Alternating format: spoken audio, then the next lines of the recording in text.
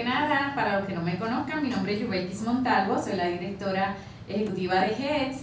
Eh, actualmente tenemos nuestras oficinas en la, en la, Universidad Interamericana, recinto metropolitano, en el Salón 326, allí a la orden a todos. Y estamos muy contentos de que hoy, a pesar de que ya estamos ¿verdad? en las actividades navideñas, podamos realizar este evento con Blackboard eh, donde Blackboard muy amablemente eh, ha traído todo su equipo para eh, adiestrarnos en las últimas herramientas y las herramientas más pertinentes y de mayor necesidad que nuestras instituciones han mostrado interés.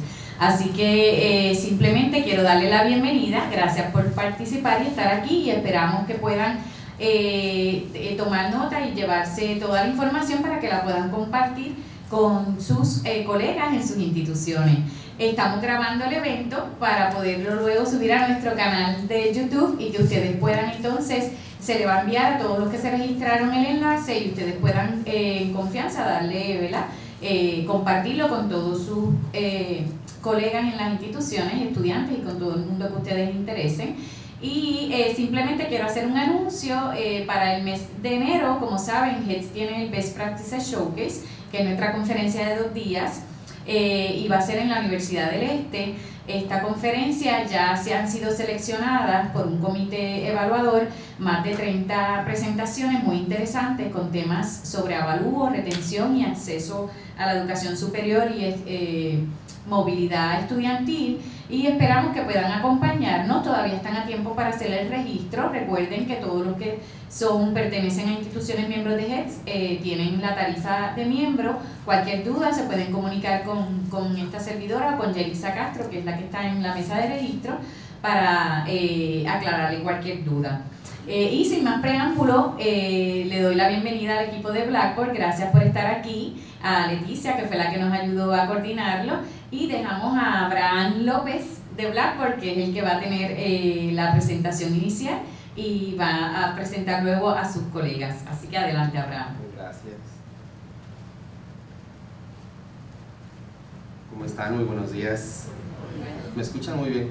Sí, micrófono también. Para no estar aquí como castigado.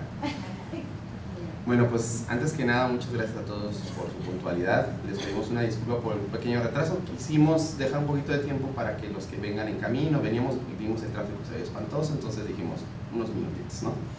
Bueno, mi nombre es Abraham López, para los que no me conocen, veo muchas caras familiares y eso me da muchísimo gusto. Eh, traje a un equipo interesante de Blackboard, eh, prácticamente tengo a todo el equipo de Blackboard que está en la región, apoyando a las instituciones que, que cuentan con nuestras tecnologías, ¿no? Entonces, yo soy Abraham López, soy Client Manager de, de Blackboard para América Latina. Eh, conmigo están mis compañeros Germán Serrano, Functional Consulting, está por allá sentado levantando la mano. Boricua, de Aguadilla, local, chinchorreador. Entonces, bueno, tenemos talento local. Eso es parte de la nueva estrategia de Blackboard, tener recursos locales. Tenemos al señor Leonardo Salomone directamente de Brasil, el señor va a ser parte de la presentación el día de hoy, es parte de los recursos disponibles para ustedes en América Latina. Eh, como ya presentaron a Leticia Santoyo, Leticia es nuestra eh, compañera de marketing para América Latina igual, es la que se encarga de todos los eventos que tenemos. Eh, no sé si ustedes saben, pero este evento lo tenemos en México, Colombia, Perú, Chile y por primera vez lo estamos haciendo en Puerto Rico. Entonces queremos que esta, esta sede sea para todas las islas del Caribe. Entonces vamos a tratar de enriquecerlo con nuestras presencias año con año. Vamos a tratar de traer siempre caras nuevas, nuevas ideas, nuevos productos, eh, actualizaciones. Es bien importante que, que, consideren este evento como una actualización a lo que tienen. No, no lo vean como algunos de blanco a vender, no. Es lo que tienen, explótenlo, saquen el mayor provecho. Por eso traemos a, a los recursos que, que realmente son los técnicos que están detrás de todo eh, y pues bueno, me falta una persona más que no está con nosotros, Dorota Ford, ella es la country manager, pero bueno, tuvo una emergencia eh, con su eh, mascota y pues por causas mayores no pudo venir, ¿no?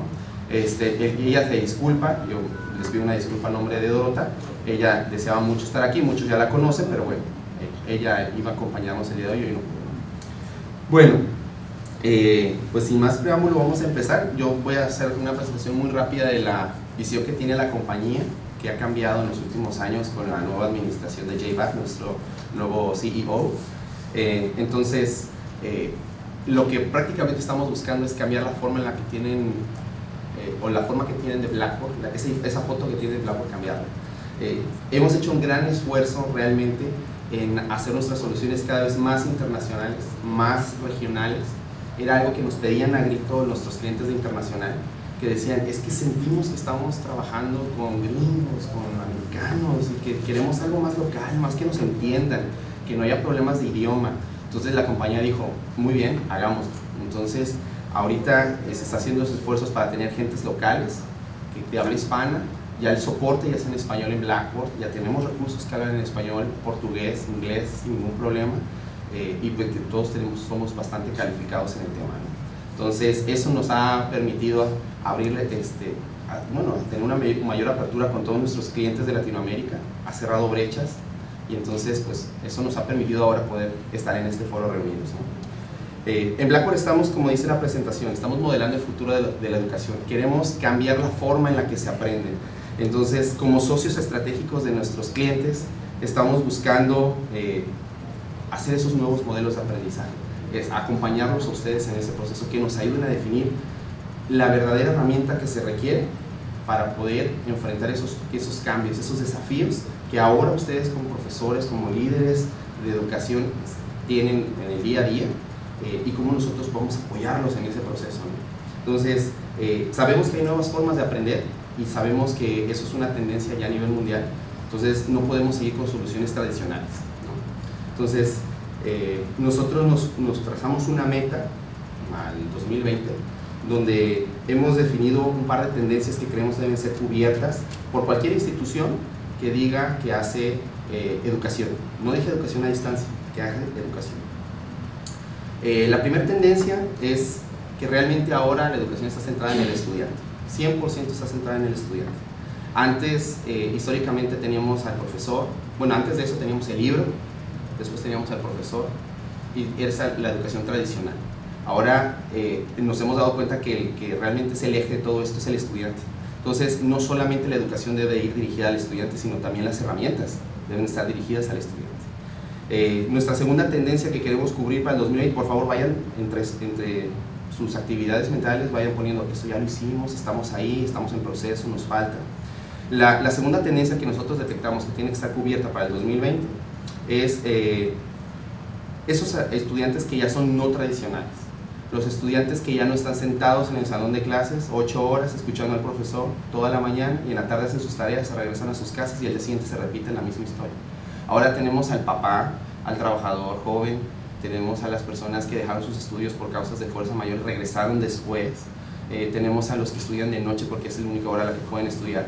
Y que desafortunadamente o afortunadamente para nosotros, eh, pues se está volviendo la mayoría ya, no, ya la mayoría no es el estudiante tradicional, sino el no tradicional. Y eso es una tendencia que va creciendo y para el 2020 van a ser números bastante importantes. Y la pregunta va a ser, ¿estamos listos para atender esa demanda de estudiantes no tradicionales? Después, la siguiente tendencia es el Big Data, famosísimo ya, sonado por todas partes. Se generan terabytes de información todos los días. ¿Estamos listos realmente para procesar toda esa, esa data y convertirla en información para toma de decisión?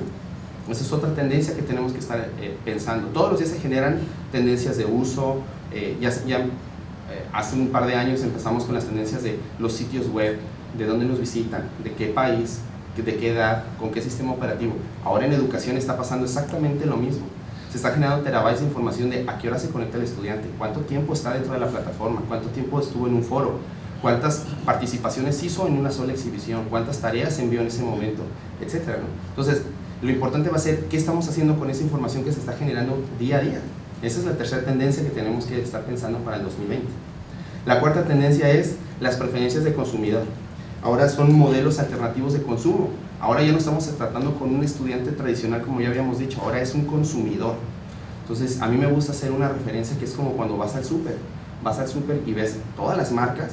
Tú vas por un producto, leche, lo que tú quieres, pero tienes muchas marcas. Entonces, ¿cuál escoges? Te vas por marca, por prestigio, por, no sé, sabores, etcétera. Bueno, la educación está haciendo exactamente lo mismo. Los estudiantes ya no se evalúan. Ahora, antes de estudiar, de estudiar en una institución, se meten a internet y tienen que evaluar cuántas universidades hay en la región, quiénes tienen la, materia o la profesión que quieren estudiar, quiénes tienen mejor prestigio, ya, ya están escogiendo. Entonces ya no estamos en esa posición cómoda como instituciones de decir es que yo soy tal institución reconocida y pues, que se peleen por mí, ya no estamos en ese lugar. ¿Por qué? Porque ahora con la educación a distancia prácticamente puedes estudiar en cualquier parte del mundo, en Harvard, en Stanford, sin estar ahí. Entonces, realmente esos modelos los estamos atendiendo. Vamos a cubrir esa cobertura tan alta que va a llegar para el 2020. Tenemos una educación verdaderamente global, esa es la, la, quinta tendencia.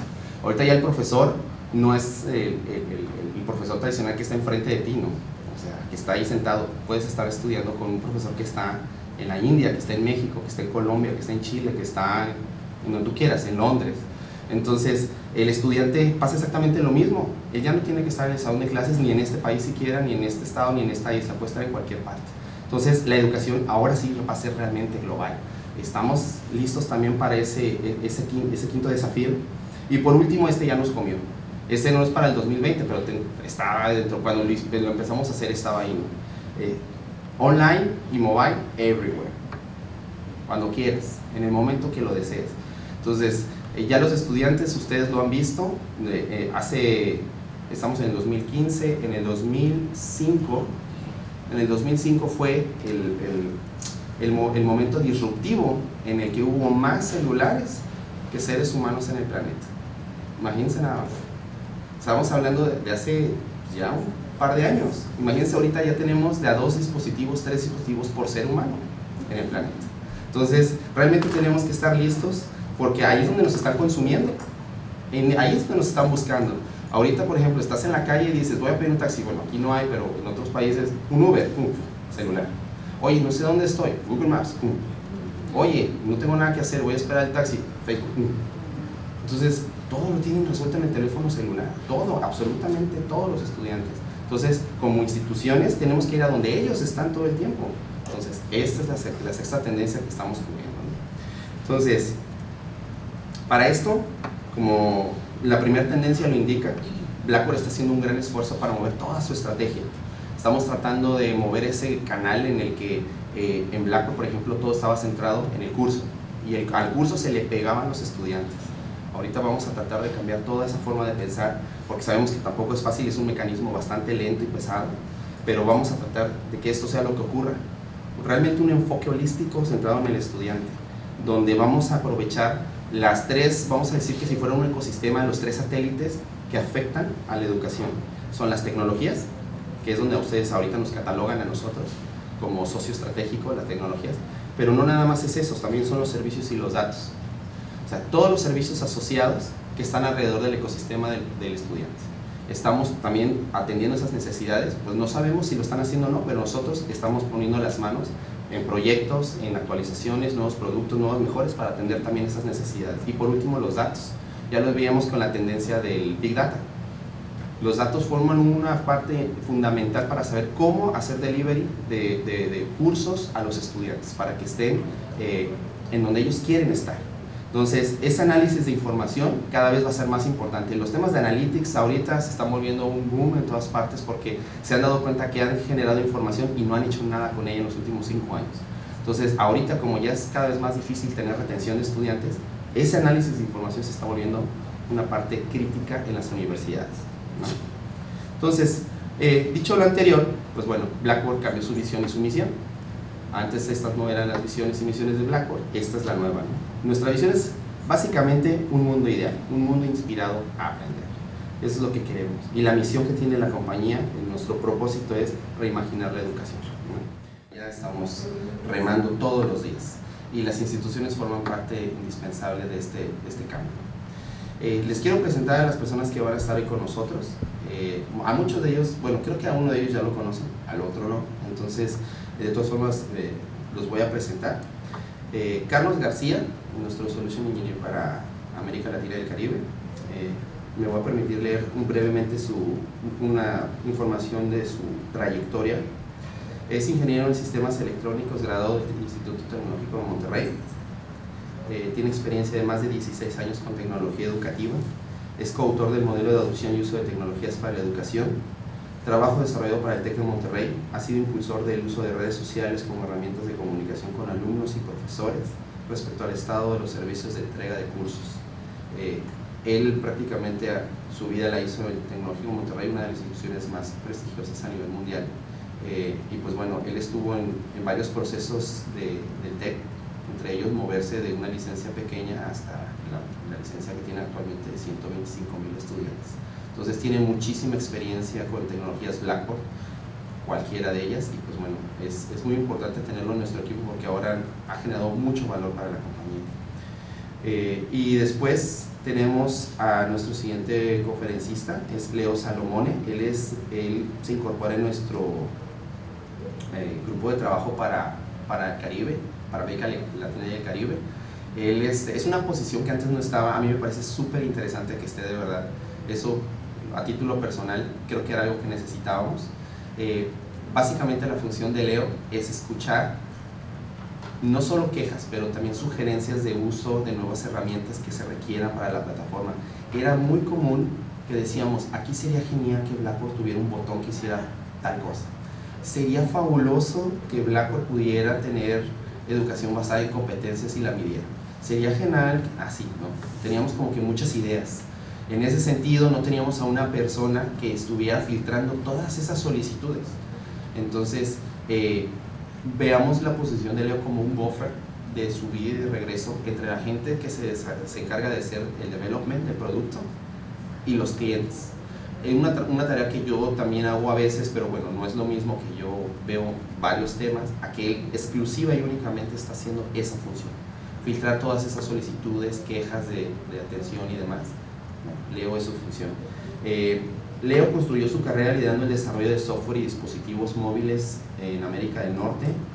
Eh, antes de volver a Latinoamérica, aplicó su conocimiento a tecnologías de educación.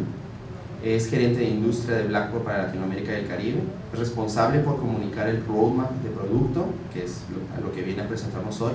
Identificar y convertir características del mercado de educación local a mejoras del producto y apoyar a nuestros clientes en su utilización, básicamente. Entonces, pues bueno, son nuestros ponentes y pues bueno, le voy a hacer ahora la palabra a Carlos García para que empecemos con el primer tema de la agenda. Gracias. Muchas gracias, gracias por el tiempo y la, presentación. Eh, lo que voy a hacer ahora, bueno, vamos a iniciar con el primer, el primero de, primero de tres, de tres temas. Y lo que vamos a hablar ahorita tiene que ver con el uso de rúbricas, si no me equivoco rúbricas y reportes de seguimiento.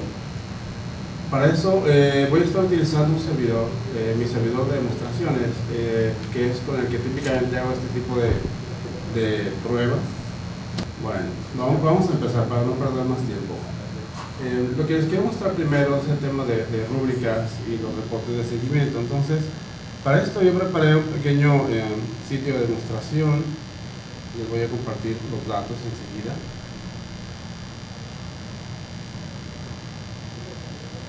Olvidé que lo tenía en un, en un USB. Ya lo había preparado por si acaso nos fallaba el tema de la computadora.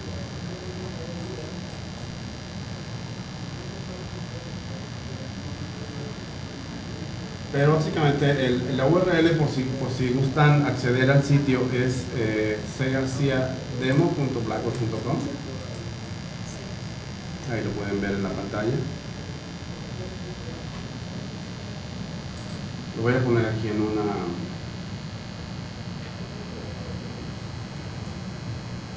en un Word. Aquí está. Esa es la URL, cgarciadem.blackboard.com. La cuenta con la que pueden entrar, preparé un par de cuentas. La primera es como profesor y la segunda es como, como alumno. Ambas tienen acceso al mismo curso dentro de la plataforma el, usuario y el password lo pueden ver en la pantalla. El password para las dos cuentas es exactamente el mismo, cc.pr. Y, y, las cuentas para profesores, profesor.cc.pr, perdón por la falta de originalidad, pero eh, más sencillo y, y, es mejor. ¿Ok? Y les doy un par de minutos para que lo lo puedan copiar. ¿Listos? No. Todavía no.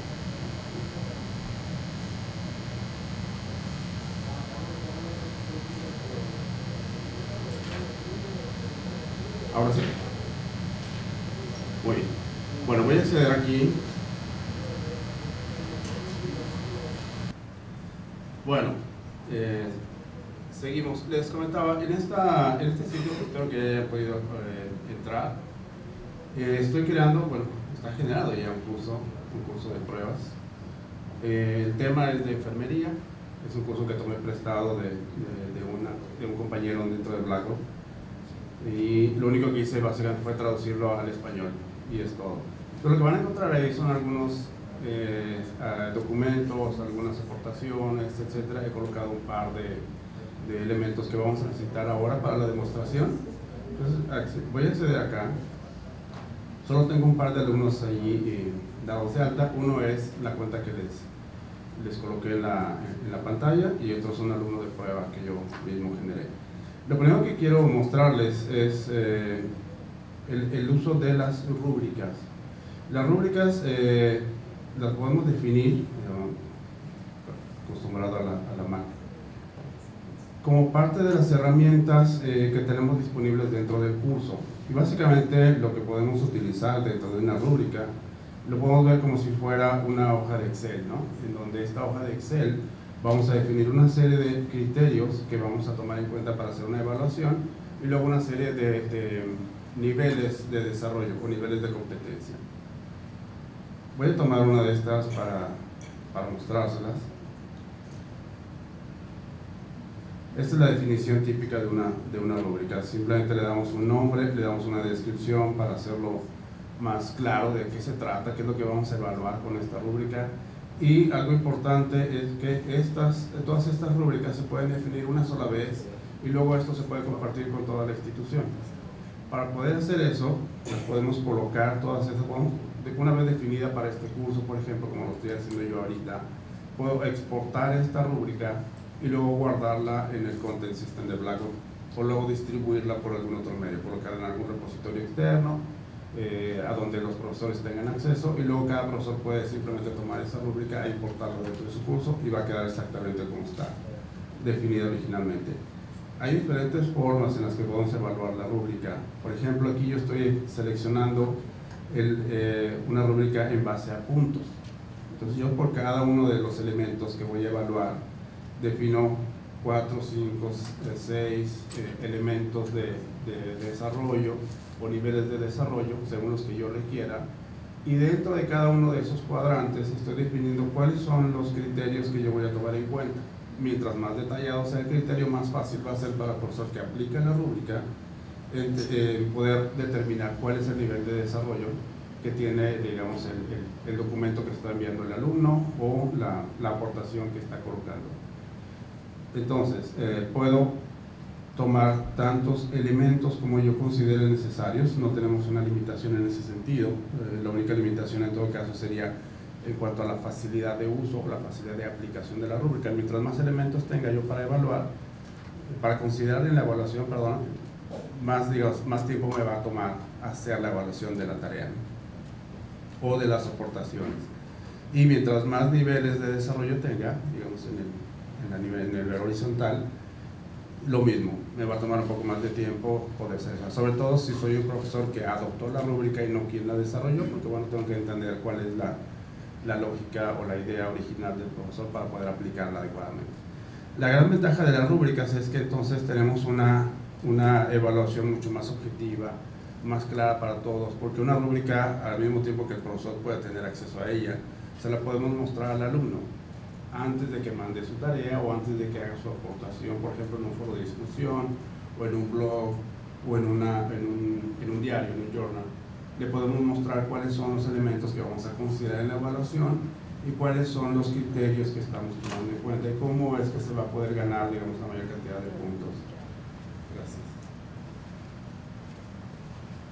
Bien, entonces, ese es otra de los, de los beneficios de poder utilizar una rúbrica y como ya comenté hace un momento, dado que la podemos distribuir a lo largo y ancho de la, de la organización, de la institución, podemos eh, homogeneizar la forma como vamos a calificar las aportaciones o la interacción de los estudiantes. Bien. Las rúbricas no solamente las podemos definir en la, en la manera como los tengo yo aquí de puntos, sino también, por ejemplo, en rangos de puntos. Por decir, voy a de 0 a 5, en lugar de darle aquí, por ejemplo, 5 puntos, yo podría decir de 0 a 5, y en lugar de darle 10 puntos, yo voy a decir de 6 a, no sé, a 7, y, así. O la puedo definir en, en términos de porcentajes, el 5%, el 10%, el 15%. Es, eso es, es, es importante que lo tomen en cuenta cuando definan la rúbrica, porque en el momento en el que la aplican para una tarea, la tarea le pude haber yo definido quizás un valor de 40 puntos ¿no?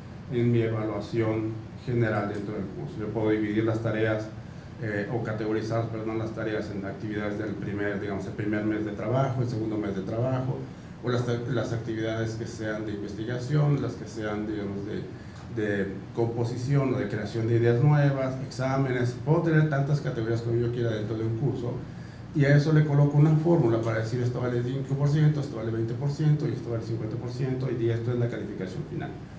Cuando yo defino una rúbrica utilizando este esquema que estoy usando yo acá, de puntos, los puntos máximos que yo estoy entregando acá son 25.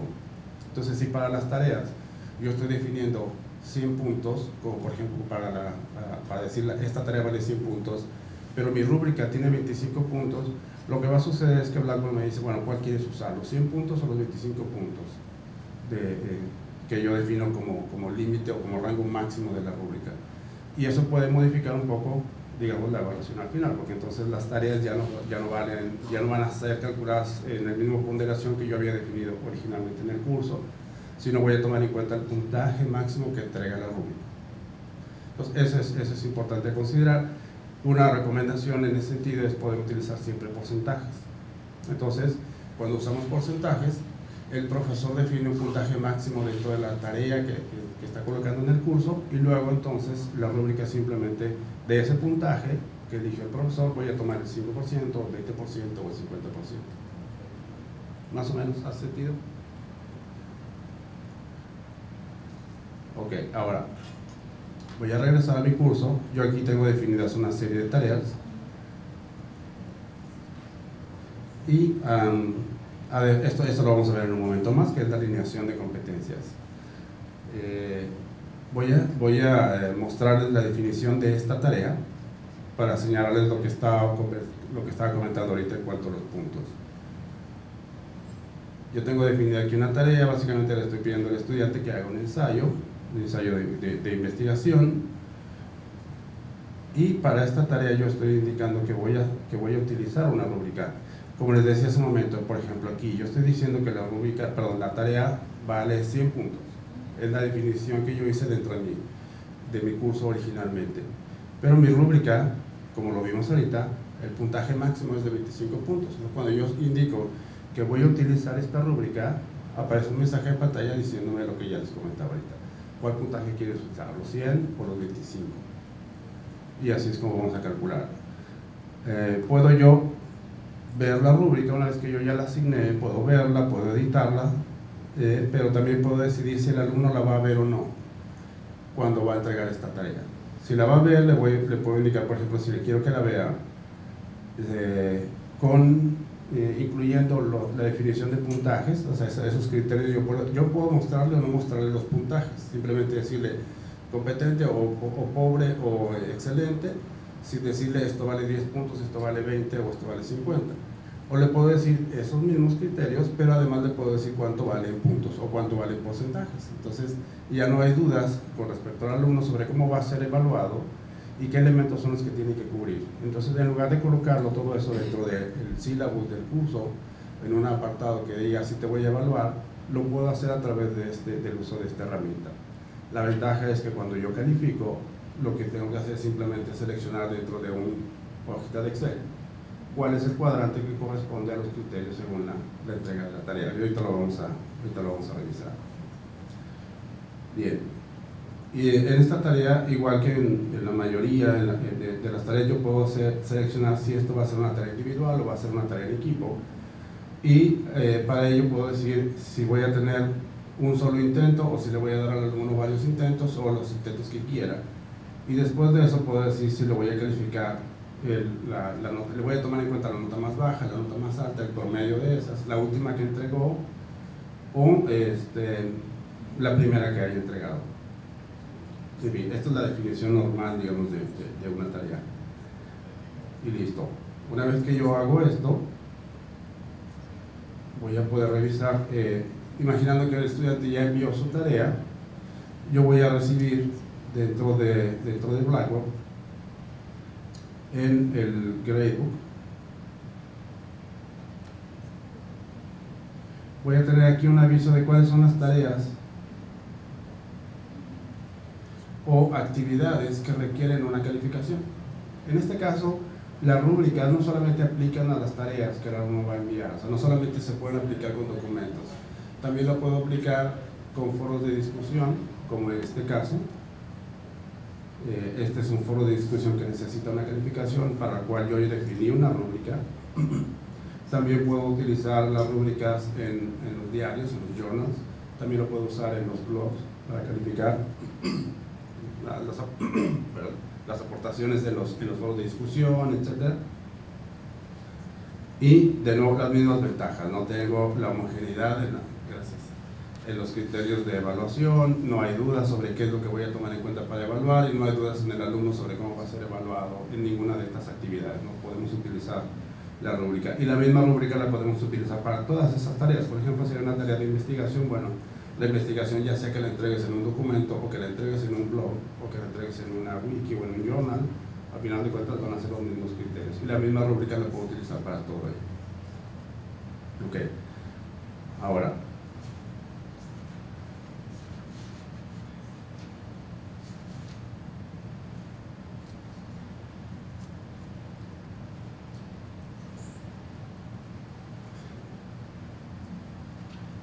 ¿Cómo voy a aplicar una rúbrica? Bueno, aquí me falta un poquito de pantalla. Aquí está. Aquí, una vez que ya entrego esta, vamos a suponer que esto es un documento o que es una aportación, como en este caso de un foro de discusión, yo tengo disponible este elemento donde me dice cuál es la rúbrica que voy a utilizar para evaluar. Y dentro de esta rúbrica yo puedo abrirla, digamos, en una pantalla emergente y teniendo el documento, digamos, en otra pantalla, yo puedo estar viendo el documento y por otro lado tengo una, una ventana nueva del navegador donde tengo la descripción de la rúbrica con todos los elementos. De esta forma yo puedo saber, bueno, el lenguaje, por ejemplo, el uso del idioma, bueno, le voy a dar 10 puntos acá. Aquí mismo puedo colocar una retroalimentación. Esta retroalimentación la puedo colocar para cada uno de los cuadrantes. Entonces aquí le puedo decir, muy buen trabajo.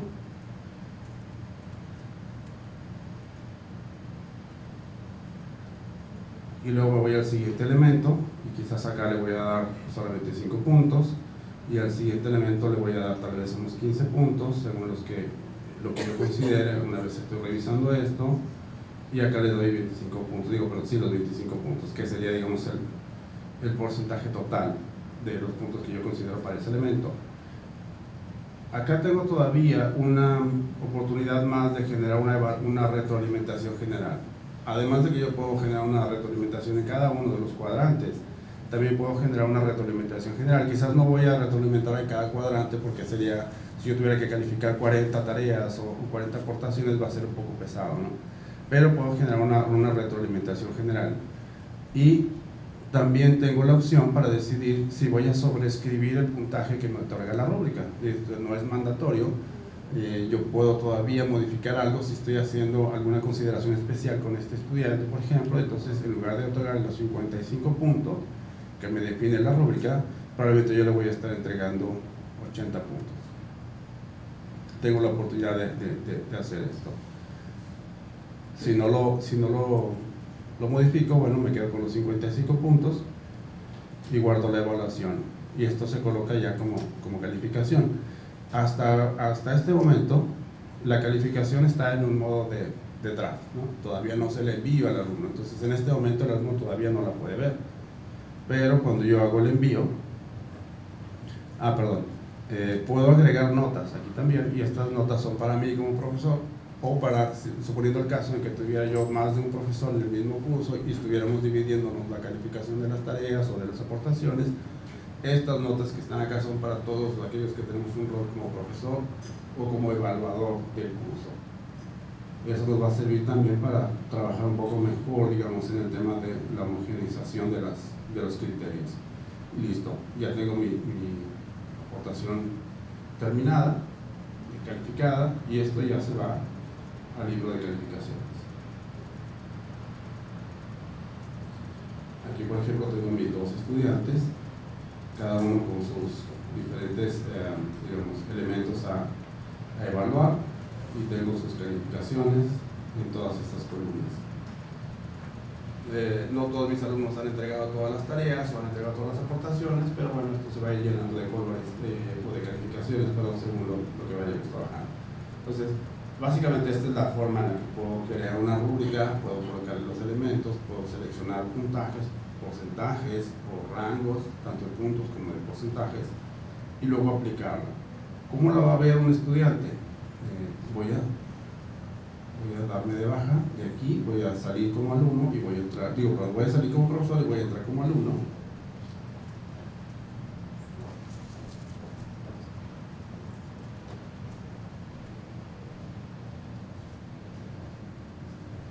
Aquí está. Bueno, si se fijan este, este cuadro rojo que, que, aparece acá son las notificaciones que yo como alumno tengo. Eh, aquí puedo indicar, por ejemplo, que tengo ya dos calificaciones generadas. Tengo, hay cuatro actualizaciones dentro de mi curso y yo puedo entrar acá y ver cuáles son todas esas actualizaciones. Entonces yo puedo ver aquí que hay, eh, eh, envía una aportación sobre el, foro sobre dudas, hay un elemento nuevo, hay eh, una calificación sobre un ensayo que yo entregué, etc. Pero de este lado voy a ver mis calificaciones. Y dentro de mis calificaciones, yo puedo ver este elemento que son los criterios de calificación.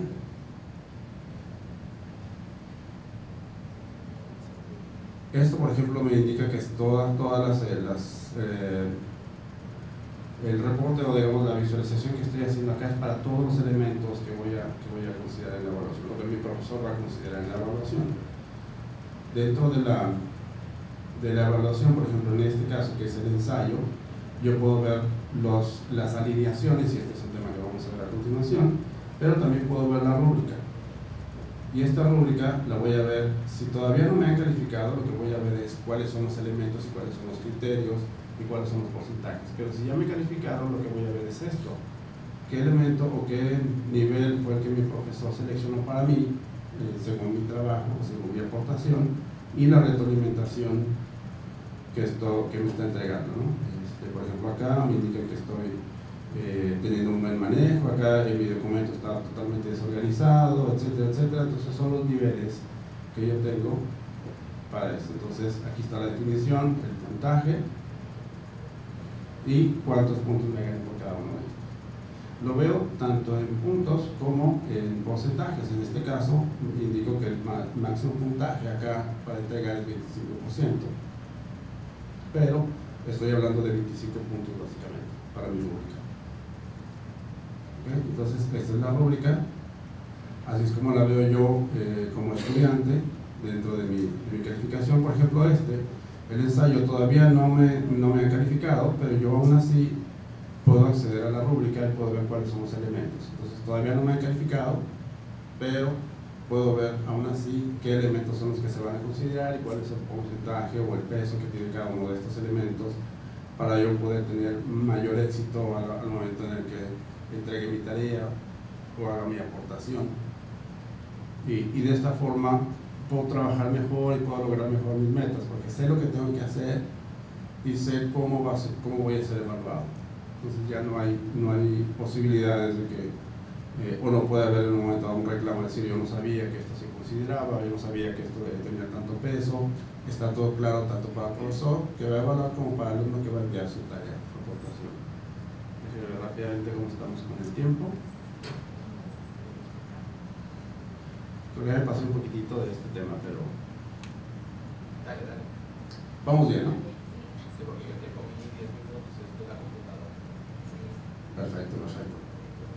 Bien, entonces, este es un... Eh, eso es como yo lo voy a ver en el, en el, momento en el que me hagan llegar mis calificaciones. Y al mismo tiempo, de este lado yo tengo mis avisos. Estos mismos avisos yo los voy a estar recibiendo en los dispositivos móviles. Al momento en que yo estoy utilizando lo que decía Abraham hace un momento, ¿no? hoy en día queremos poder trabajar en los cursos y hacer nuestro trabajo en los cursos en cualquier momento y en cualquier lugar. Entonces, si yo tengo un foro de discusión eh, y sé que lo tengo que entregar para el día de hoy, pero no estoy frente a mi computadora, finalmente yo puedo de cualquier forma acceder a través de una tableta, a través de un dispositivo móvil, colocar mi aportación y se acabó. Tengo esa, esa facilidad. Y mi profesor igual, ahorita lo, lo, lo, vamos a ver con, la, con el uso de una tableta, puedo ver todos estos elementos y calificarlos desde una tableta y al mismo tiempo tengo la facilidad de que cuando yo estoy haciendo la calificación, ahorita decíamos que si tengo 20 estudiantes y me van a entregar cada quien 5 tareas, va a ser mucho que calificar. Pero eh, la gran ventaja con la tableta, por ejemplo, es que yo puedo generar esa retroalimentación en la forma de un audio. Aprovechando el hardware que tengo ahí, puedo grabar esa retroalimentación con, con audio para no tener que escribir tanto, sobre todo porque es una tableta, entonces igual no estoy tan acostumbrado, pero sí estoy acostumbrado a hablar, entonces puedo hacer clic en un botón, grabo mi retroalimentación y califico utilizando la rúbrica. Entonces, realmente me puede eh, ahorrar mucho tiempo en el proceso, en uno de los procesos más, más importantes y más pesados, que es especialmente la calificación y la retroalimentación a mis estudiantes. ¿Ok? Bien, eh, no sé si habían visto el perfil de Blackboard, este nuevo perfil, probablemente ya lo estén utilizando, pero eh, les doy una, un paseo rapidito por el, por el perfil. Aquí, por ejemplo, yo puedo definir mi foto, puedo editar mi perfil y puedo tener seguidores y puedo seguir a la gente. Y esto lo voy a ligar con el siguiente tema más, más adelante, que es el aprendizaje social. Entonces, eh, voy a regresar a mi curso.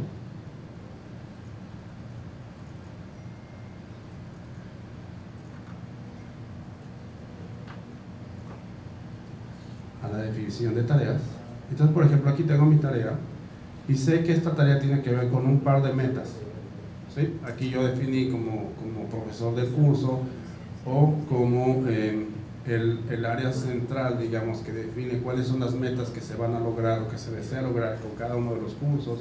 Definimos metas, definimos estándares como grupo central y esto lo desplegamos hacia toda la organización, hacia todos los cursos pero eh, dentro de cada curso yo puedo alinear, digamos, el mismo curso hacia, digamos, el curso lo puedo alinear con una competencia o, dos competencias, pero cada actividad, cada elemento de contenido del curso, cada examen, etcétera, lo puedo asociar también a un elemento de esa meta.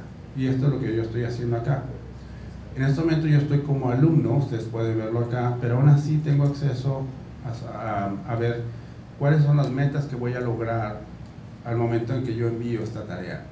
O esta tarea, digamos, está asociada con esas metas, por lo tanto, en este, en este plan general de decir, yo quiero ser médico, y para ser médico tengo que saber tomar la presión, tengo que saber eh, tomar muestras sanguíneas, tengo que saber un montón de cosas, prácticas, no solamente teóricas.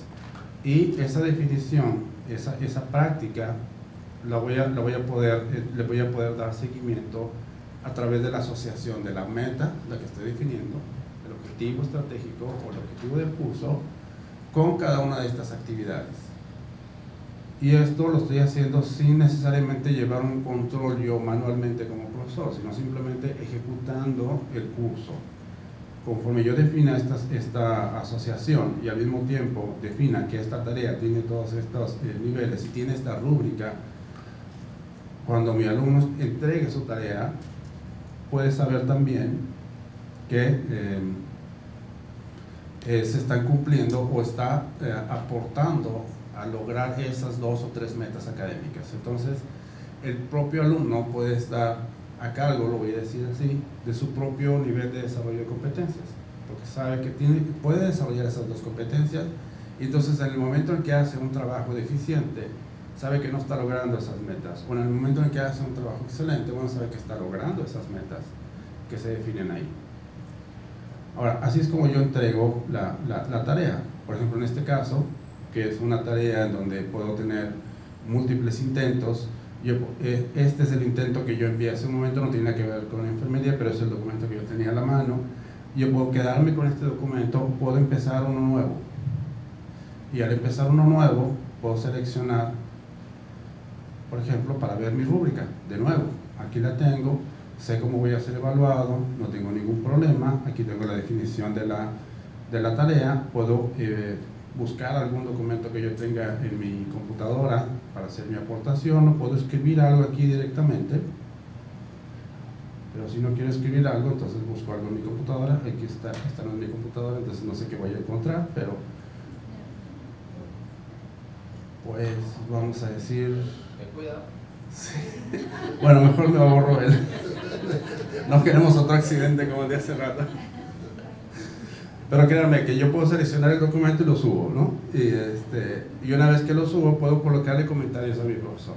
Entonces, este, aquí va mi segundo intento.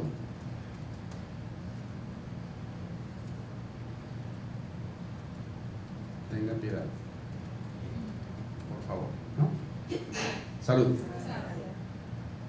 Entonces, este, bueno, vamos a, vamos a algo, vamos a ver qué sale.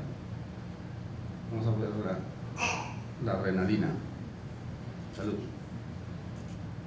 Este es un shortcut, no hay nada ahí. Supongo que no hay ningún documento acá. No.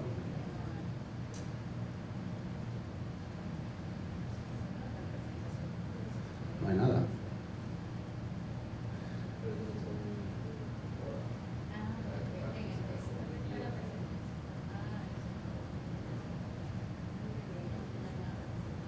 Bueno, no hay nada. Entonces, este, yo puedo enviarle esto y eh, voy a colocar aquí quizás solo un texto. Segunda aportación. Listo. Es una aportación bastante sencilla.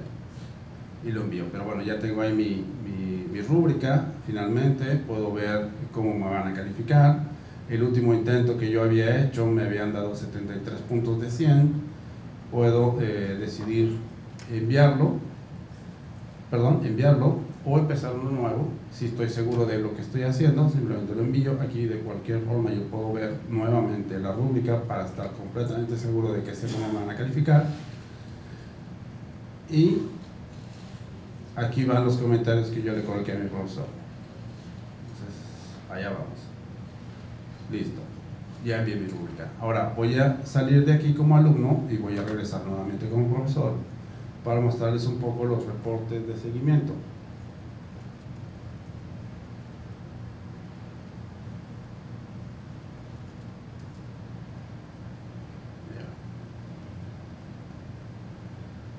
Igual como profesor yo también tengo de este lado las actualizaciones que están sucediendo, tengo también, eh, esto aquí es bien importante, que es el centro de retención. Aquí ya llegó una notificación nueva. Y este centro de retención escolar, por ejemplo, yo aquí estoy viendo mi curso. Y en este curso, digo, todos mis estudiantes están ejecutando perfecto. Es un curso que empezó ayer y ya tengo un par de tareas enviadas, entonces estamos perfectos. Pero yo vamos a ver, vamos a ver los detalles. ¿no? Para ver, yo puedo ver dentro de este curso diferentes elementos. Por ejemplo, quiénes de mis estudiantes están fallando en la entrega de tareas, quiénes están fallando porque están obteniendo calificaciones bajas, o quiénes están fallando porque no están entrando a la plataforma, etc. Eh, todos estos elementos de cualquier manera yo los puedo, los puedo modificar, o sea, les puedo colocar una regla diferente, puedo colocar incluso más reglas para saber si eh, si mis estudiantes están ejecutando según lo que yo estoy esperando que se ejecuten o están fallando de alguna manera. Estas son las reglas que yo tengo predefinidas. Eh, por ejemplo, eh, en cuanto a, aquí vería yo la lista de estudiantes y si alguno de mis estudiantes estuviese en riesgo, yo lo podría ver aquí en, en esta pantalla. Como les decía, mi curso empezó ayer, mis estudiantes ya mandaron un par de tareas, entonces estamos bien. Pero voy a personalizar esto un poco y voy a ver, por ejemplo, la actividad. Yo tengo aquí esta regla que me sirve para identificar a los estudiantes que se están ejecutando, que se están, digamos, eh, desempeñando 20% por debajo del promedio. Eso quiere decir que mis estudiantes están entrando 10 veces por semana.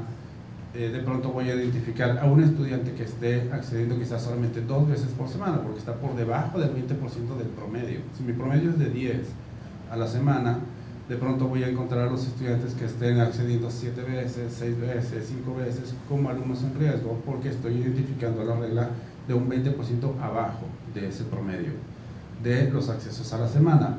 Pero si yo lo quiero ver todos los días, si yo tuviera la necesidad de que mi estudiante accediera todos los días al menos una vez, entonces aquí voy a poder definir esta regla. Si mis estudiantes están un 20% por debajo del promedio el promedio yo lo necesito diario, yo puedo determinarlo acá. O puedo también jugar al revés y decir, quiero saber quiénes son mis estudiantes que están por encima del promedio. Y esto eh, para identificarnos, quizás no a, los que están en riesgo, pero sí a los que se están ejecutando, de los que se están desempeñando por encima del promedio, para identificar a aquellos alumnos que digamos están liderando el desarrollo de competencias dentro del salón. Entonces tengo los dos extremos, los que van mal y los que van bien. Y los tengo identificados. Esto me va a servir también, por ejemplo, a la hora de que yo pueda colocar dentro de mi curso elementos de aprendizaje adaptativo para poder identificar aquellos que se están desempeñando pobre y los que se están desempeñando excelente y los puedo proveer de contenidos diferentes, de actividades más retadoras o más, digamos, de, de repaso, dependiendo de su desempeño. Entonces, puedo seccionar así mi curso y entonces entregarle a cada estudiante la experiencia que necesita para poder desarrollar las competencias. ¿Tienen alguna duda hasta aquí? Ahí atrás, sí.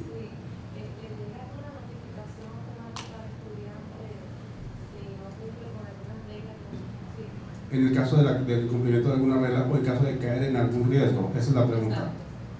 Okay.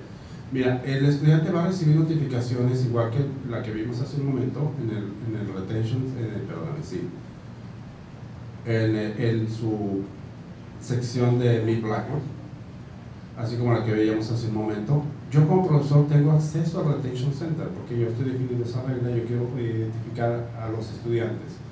Pero como estudiante no, voy a, no tengo acceso al Retention Center. Lo que sí tengo acceso, voy a regresar aquí un poco.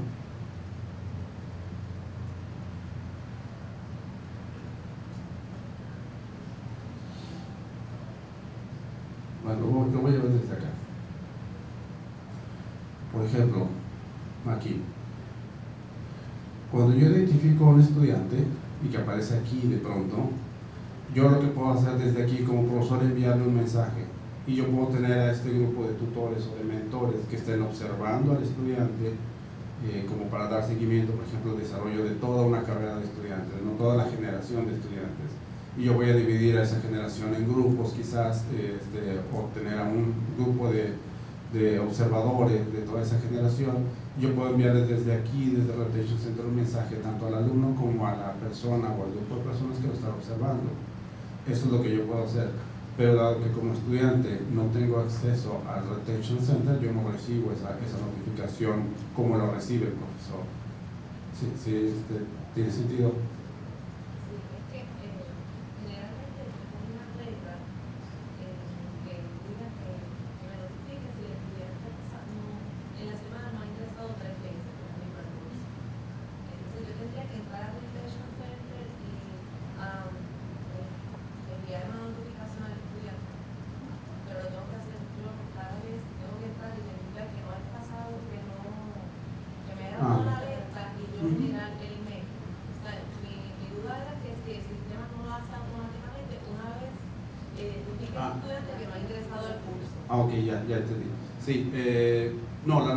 Notificación automática es para el profesor o para quien está dando seguimiento al, estudiante. Vamos así, si tengo un grupo de varios profesores que están dando seguimiento a este curso y nos dividimos, eh, yo, yo manejo a este grupo de alumnos, tú manejas a este grupo de alumnos, ambos profesores recibimos esa notificación de parte del Rotation Center y podemos actuar.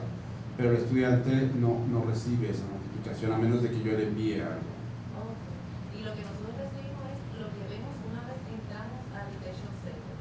que sería esa, esa barra roja que mm, está exacto. Así es. Sí.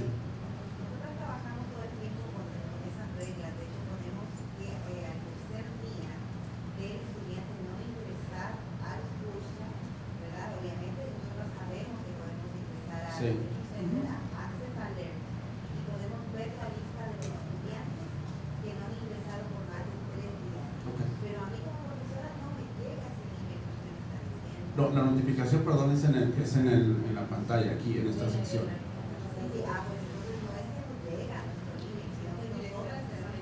Es correcto, o sea, si no, no llega un correo, llega un, ves, ves la notificación aquí en la pantalla.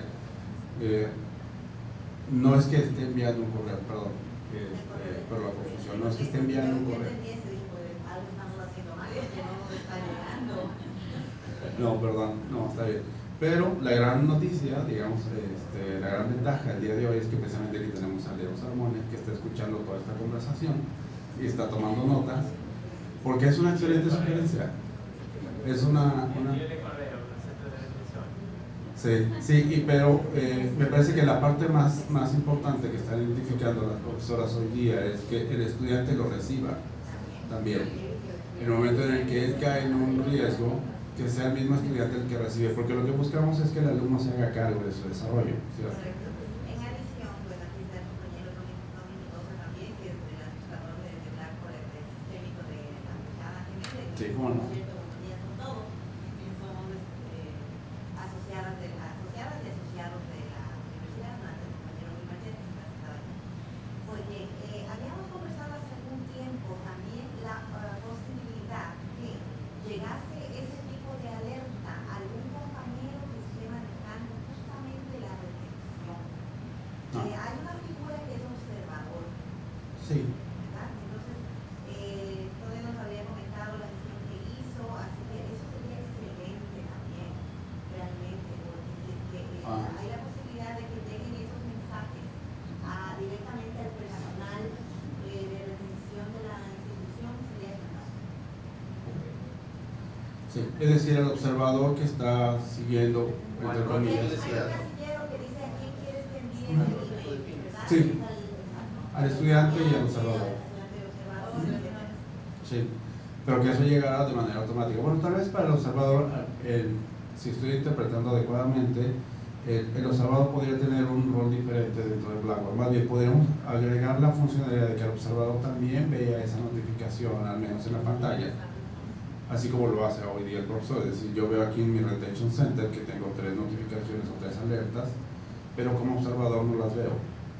Y si yo voy a dar seguimiento a este grupo de alumnos, sería muy bueno que ahí lo pudiera ver también. No sé si... si Sí, sí, ¿Qué? yo gustaría conocer mejor tu modelo funcional, como es que la figura que está ahí, que, que hace la supervisión, si eso es un pasamos de clase, si son varios, si son personas, otra por eso, cómo se, cómo se utiliza para entonces poder proponer una solución. Pues ahí. En el, en el breakdown. Ya tenemos, mira, esa es la gran ventaja de este tipo de eventos, ¿no? Nos co- podemos conectar todo. Y genial, ¿no? Muchas gracias por la, aportación, creo que esto es para crecimiento de todos. Eh, bueno, voy a regresar, ah, ya estoy con el profesor, perdón. Este, si no hay más preguntas, perdón.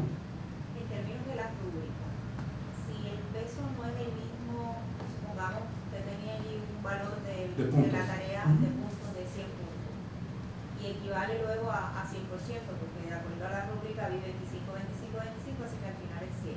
Al final, sí. Sí, y, y esa es eh, la El valoración que se da a la valoración- a- al, al total, al, al total final de la nota. Eh, si ese por ciento fuera diferente, ¿habría algún tipo de conversión a nivel del sistema? No sé si a través del Grade Center. Eh, supongamos que el- la tarea tiene un valor de 100 puntos, pero luego, en, en ¿cuál es el peso que se le da a esa nota? En la nota final, supongamos que es un 20%, que eso equivale al 20% de la nota final.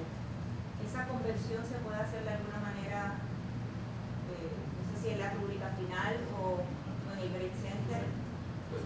Vamos a decir que, por ejemplo, aquí tengo 200 puntos definidos para esto, ¿no? Para, entender bien el caso. Pero luego voy a seleccionar una rúbrica de las que yo tengo definidas acá. Voy a decir que esta.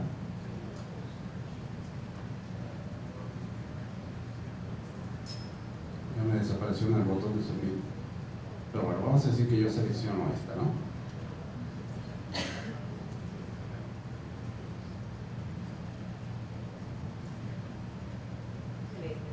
Se me fue el Zen.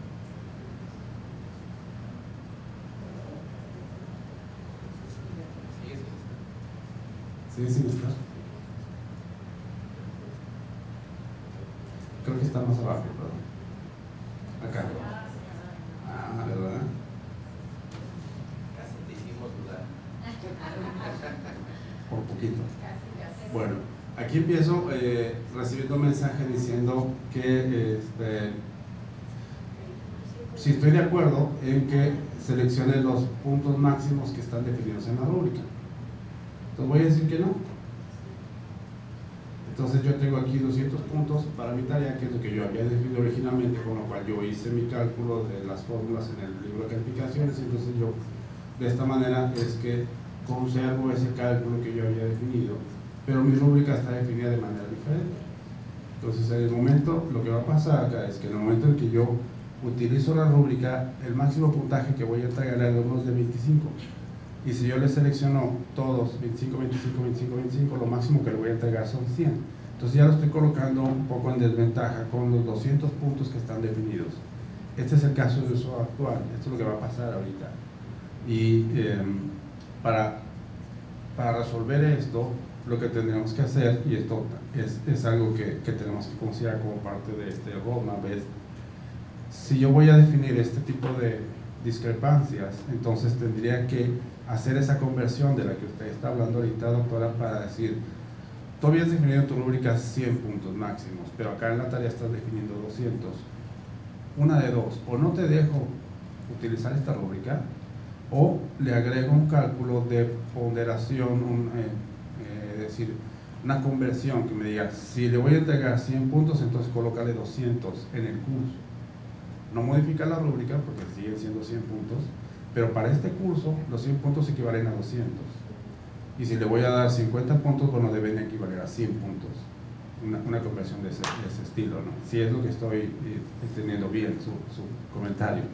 Bueno, las tareas tienen puntuación, pero eventualmente cuando va regularmente, lo tradicional es que cuando va una nota final eh, se convierte en un por ciento no Sí. necesariamente la puntuación es la misma Ah, ah, ok, ya, ok, ya, ya, perfecto. Sí, perdón, estaba entendiendo al revés entonces. No, allá lo que se conserva es la ponderación de la fórmula. El impacto acá para el estudiante es que yo le voy a dar solamente 100 puntos, porque mi rúbrica dice 100 puntos. Nunca le voy a poder dar los 200, entonces ahí lo voy a impactar. Pero si el caso fuera al revés, si mi rúbrica tuviera 200 puntos y el puntaje que yo le defino aquí es de 50 para esto, entonces sí voy a poder calcular el ponderado en el libro de calificaciones, pero va a suceder en el libro de calificaciones. Lo que va a pasar acá es que el estudiante de pronto de 20 puntos o 25 puntos posibles que yo definí aquí, voy a regresar aquí, perdón, 25, pero a la hora que yo selecciono esta rúbrica, lo voy a hacer de nuevo. Ah, bueno, eh, algo que se me había pasado a comentarles es que yo puedo colocar más de una rúbrica. Acá. Entonces, mmm, aquí, bueno, como yo estoy definiendo 25 puntos y hace un momento dije que no me importa la definición de puntos que tengo en la rúbrica, bueno, ya no me lo vuelvo a preguntar, pero entonces lo que va a suceder es que cuando yo le entregue 100 puntos de acuerdo a mi rúbrica, son 100 son más que 25, entonces en la tarea el estudiante va a ver 100 puntos otorgados y no 25 pero la calificación que va en el libro de notas va a estar calculado con base en los 25, porque el 25 está definido como parte de la fórmula de las categorías o de las, las columnas específicas para tener un 100%. No sé si... Realmente entonces es hacerlo al revés. ¿Es hacerlo al revés?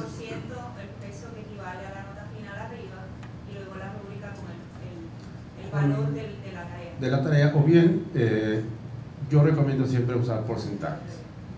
Usar porcentajes. Entonces, puedo definir yo aquí en los puntos posibles lo que a mí me interesa entregarle al alumno, 25, pero entonces mi rúbrica, y por eso siempre muestro este con, puntos, para, generar esta, eh, digo, para hacer más fácil la visualización de estos tipos de casos, ¿no? En mi rúbrica yo siempre la defino como porcentajes. Si te voy a dar el 10% o el 50% o el 100% de los puntos, cualquiera que sea la definición de puntos, pero eso queda en control de la. Porque después, aunque tengamos un solo diseño instruccional, pero como profesor probablemente me conviene agregar una tarea extra según el desempeño que estoy viendo en mis estudiantes. Pero esa tarea extra me va a implicar entonces una variación en la fórmula para calcular la calificación final. Entonces, mientras podamos definir nuestra rúbrica usando porcentajes o rangos de porcentajes, vamos a eliminar cualquier tipo de ambigüedad para la nota. Sí, más o menos.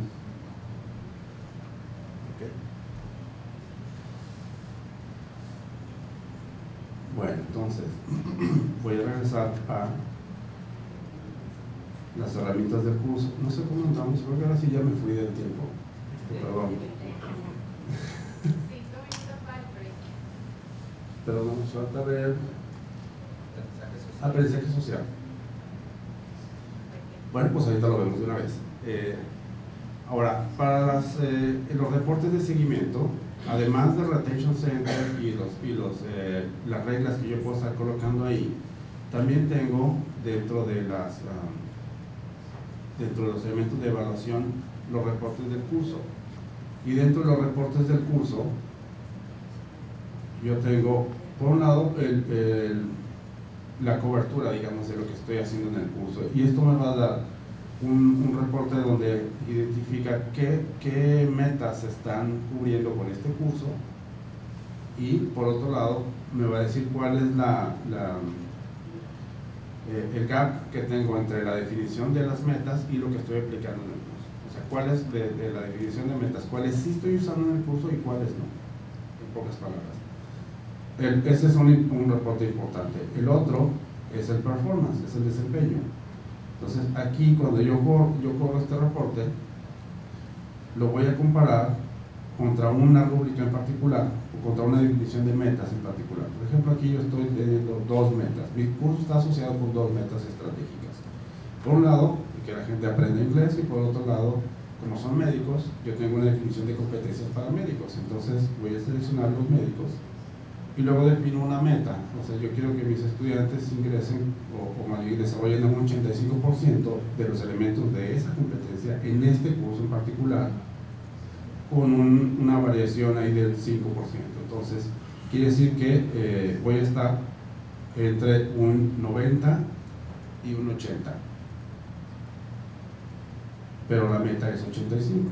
Entonces, al momento de que yo ejecuto el reporte, tengo las popos bloqueadas.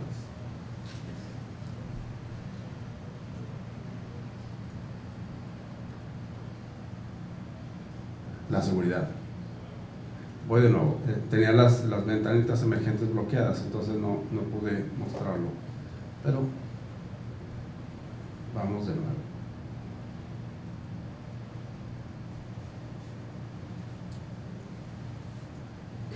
Aquí está.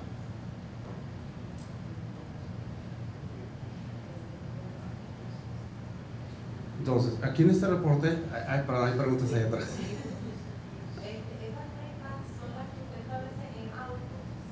Eh, son, bueno, en Outcomes, Outcomes es un, es un, es un componente adicional de la plataforma, pero eh, este, que permite un par de funcionalidades adicionales, y ahorita las explico.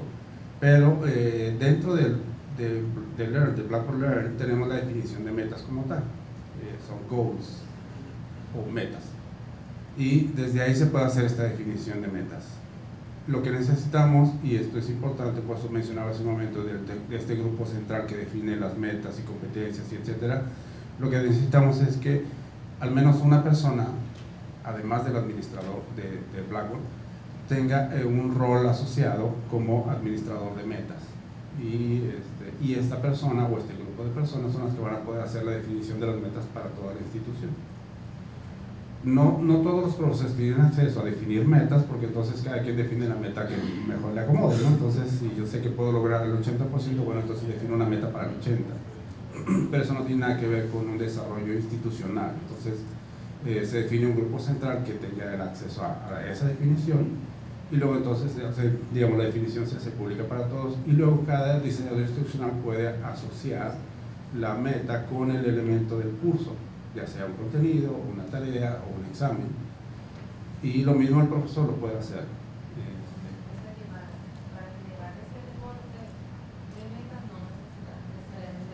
No, el reporte lo puede generar el profesor. De hecho, yo estoy generando como profesor, no como administrador de metas. El reporte lo puedo ejecutar como profesor, pero si mi ambiente no tiene definida ninguna meta, aquí no me va a salir nada. ¿Es un rol especial o se asigna esa categoría, esa responsabilidad a personas? Es un rol especial, este, ahorita lo, lo- lo podemos ver. este, me voy a dar de alta como administrador para mostrarles la definición del rol. Pero es un rol adicional que se puede asignar a un grupo central que haga la definición de todas esas metas y luego entonces, ya sea el diseñador instruccional o el mismo profesor, puede hacer la asociación de la meta con el curso. Claro. sobre la base también de las rúbricas, ¿verdad? O sea, esa sería entonces el- la contraparte para ir midiendo digamos, el, el performance del estudiante. Ajá, es, exactamente. Eh, otra cosa es que en cada elemento que voy a utilizar para evaluar las tareas, lo que yo defino en la rúbrica, digamos cada renglón, puedo asociar eh, las metas a ese renglón. Es decir, no solamente al contenido y a las tareas, sino también en la rúbrica puedo decirle, mira, está este elemento, lo que decíamos, el uso del lenguaje o la organización o la, la profundidad de investigación, están asociadas con metas específicas. Entonces, al momento de, aplicar la rúbrica, también estamos contribuyendo al logro de esa meta. Ok. Entonces, bien, aquí este reporte es, eh, bueno, puedo visualizar claramente eh, que el porcentaje o el promedio de mis alumnos están en el 63%, es decir, estoy todavía lejos de lograr la meta, quiere decir que hay, hay algo más que, que debo de trabajar. Y aquí, en esta, con esta señalización, estoy viendo cuáles son los elementos en los que no estoy cumpliendo todavía, cuáles son los que me faltan. Yo puedo llegar aquí, ver las tareas, por ejemplo, en este caso, sé que estoy fallando con las tareas, mis estudiantes están fallando con tareas, y puedo saber cuál es la tarea que se les está complicando más. Suponiendo que en la primera hubieran logrado toda la meta, bueno, aquí yo no vería esta imagen, pero sabría que en la segunda es en donde están fallando. Entonces yo sé que esta tarea se les está complicando, entonces yo puedo regresar a mi curso y actuar en consecuencia y decir, bueno, vamos a revisar más sobre este tema, o vamos a resolver dudas, o vamos a generar una sesión adicional para esto, etcétera, pero puedo ya trabajar con ello. Ah, estos reportes los puedo bajar a Excel también para poder generar, por ejemplo, informes quincenales o mensuales de cómo va el desarrollo de estas competencias para, para cada uno de estos cursos, si es cosa que podamos revisar dentro del departamento académico, por ejemplo. Pero al mismo tiempo, y ahorita lo voy a, voy a regresar, bueno, este, el close está de este lado. Yo puedo guardar esto en el Content Collection. Entonces yo puedo generar una carpeta dentro del content que sea precisamente el seguimiento al desarrollo de este curso, por ejemplo, o de todo un departamento académico. Y yo cada vez que genero uno de estos informes lo puedo guardar en ese Content Collection para que todos los profesores del departamento, por ejemplo, o todos los de la academia o de la institución tengamos acceso a esa información pueda dar un mejor seguimiento a esto. También, por supuesto, lo puedo descargar. Bueno, ahora me voy a saltar así bien rápido la parte de, antes de que nos vayamos al break.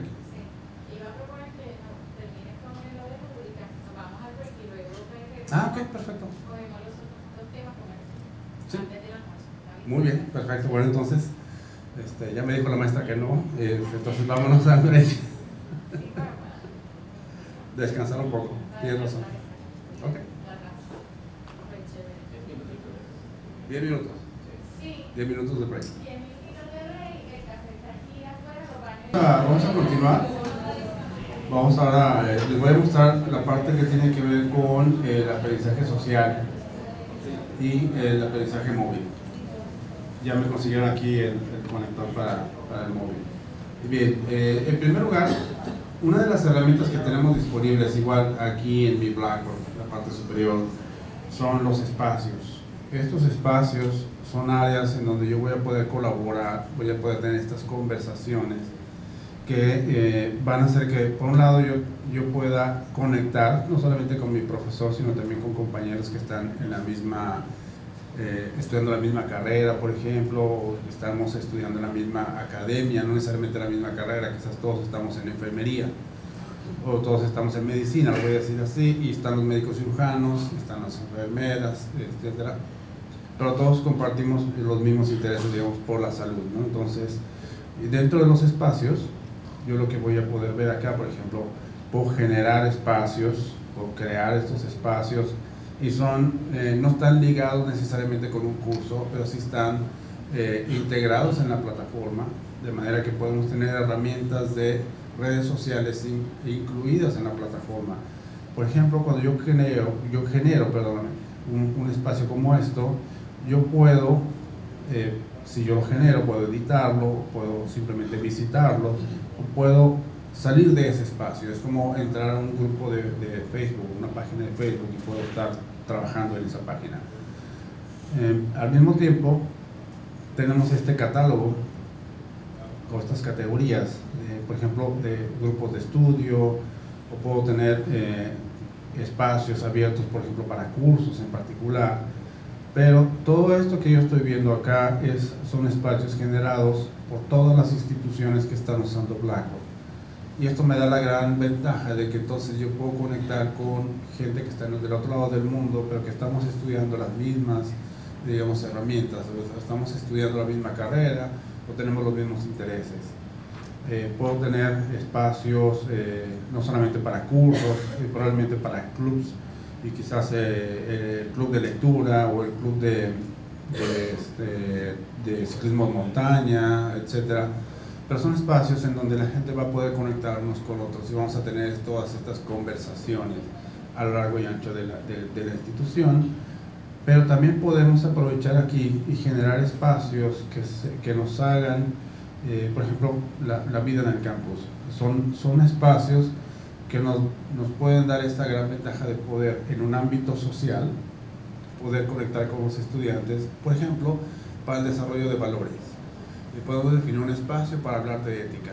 Y es un espacio abierto, es un espacio donde no estamos siguiendo las reglas de, eh, de un curso porque no hay una calificación de por medio, pero sí estamos conversando alrededor de la ética y estamos viendo qué es lo que yo entiendo, qué es lo que tú entiendes sobre este tema en particular y entonces podemos llegar a conclusiones y puede generar conocimiento.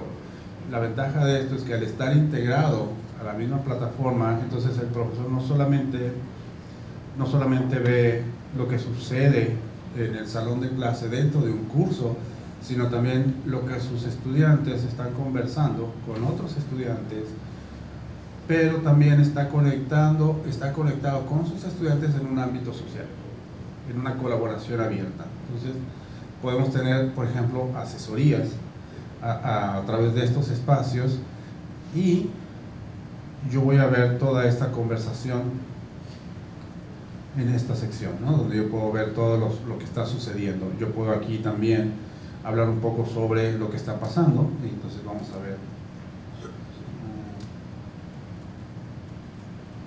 Compartiendo conceptos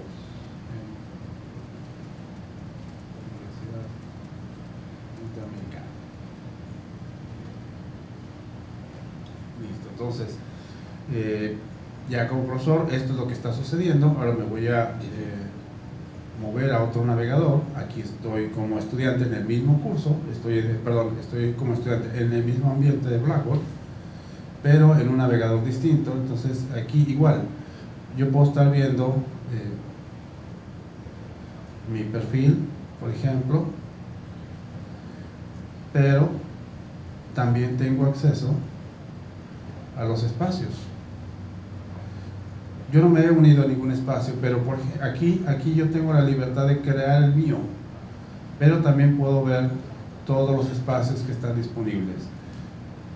Y aquí puedo buscar los grupos de estudio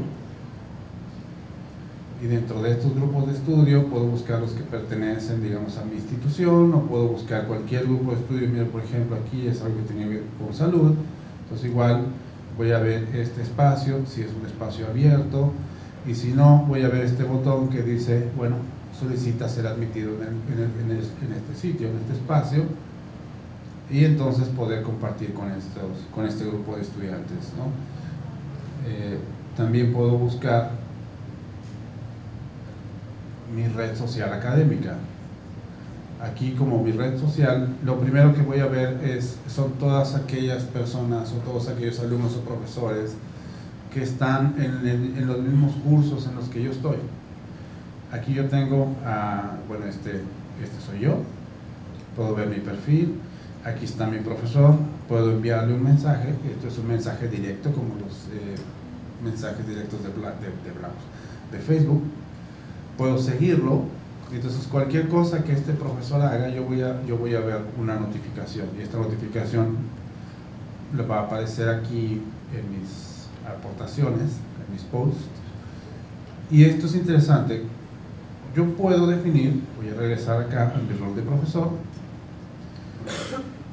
yo puedo definir si quiero que todo el mundo me pueda seguir, así nada más, o sea que cualquiera que esté usando Blackboard pueda seguir lo que yo estoy haciendo, voy a editar mi perfil. O puedo decir que eh, me puedan ver y me puedan seguir sin que tengan que pedirme permiso. O yo voy a tener que autorizar a la gente que pida que me pida permiso para seguirme, para entonces aprobar que me puedan seguir. ¿Ok? Puedo definir también que mi perfil es privado o que mi perfil está de- definitivamente escondido. Entonces no va a haber forma en que alguien me, me pueda seguir. Puedo importar algunas cosas que yo tenga en Facebook. No voy a traer la red social Facebook acá porque no es lo que queremos. Pero si yo en Facebook definí un perfil que me gusta mucho, de cómo me describí yo allá, no tengo que escribirlo aquí nuevamente, sino simplemente importarlo desde Facebook o desde Twitter, desde lugares donde me haya gustado mucho cómo me definí allá, etcétera, desde allá me puedo traer esa definición y listo. Entonces, esto es lo que puedo hacer. Ahora, sí, preguntas. Eh, sí, sí, eh, estoy pensando, ¿verdad? Ahora mismo nosotros no tenemos este, esta, ah, esta, esta licencia de tatuaje, ¿verdad? Que Ajá. yo entiendo que nos vamos a mover. Ajá.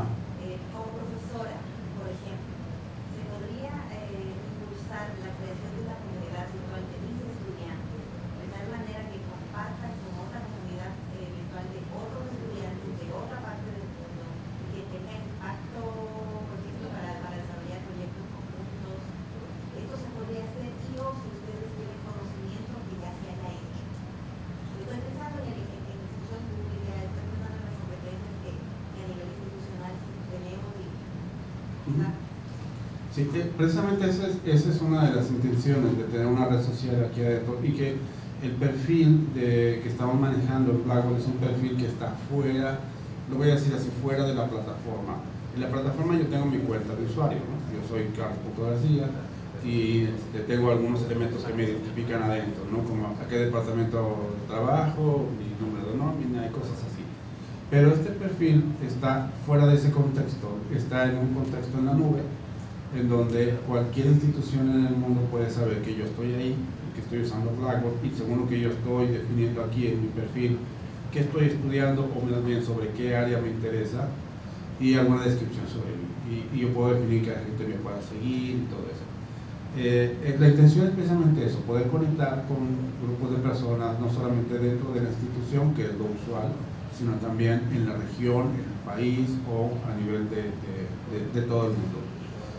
No, no tengo yo información de dos instituciones que estén trabajando de manera colaborativa en algún proyecto académico, pero sí tengo conocimiento de que eso se está desarrollando hacia el interior de instituciones, donde, como les ponía en el ejemplo, yo genero un espacio eh, para poder compartir sobre eh, los temas del curso como un grupo de estudio, pero también genero un espacio en donde estamos hablando de los valores de la institución.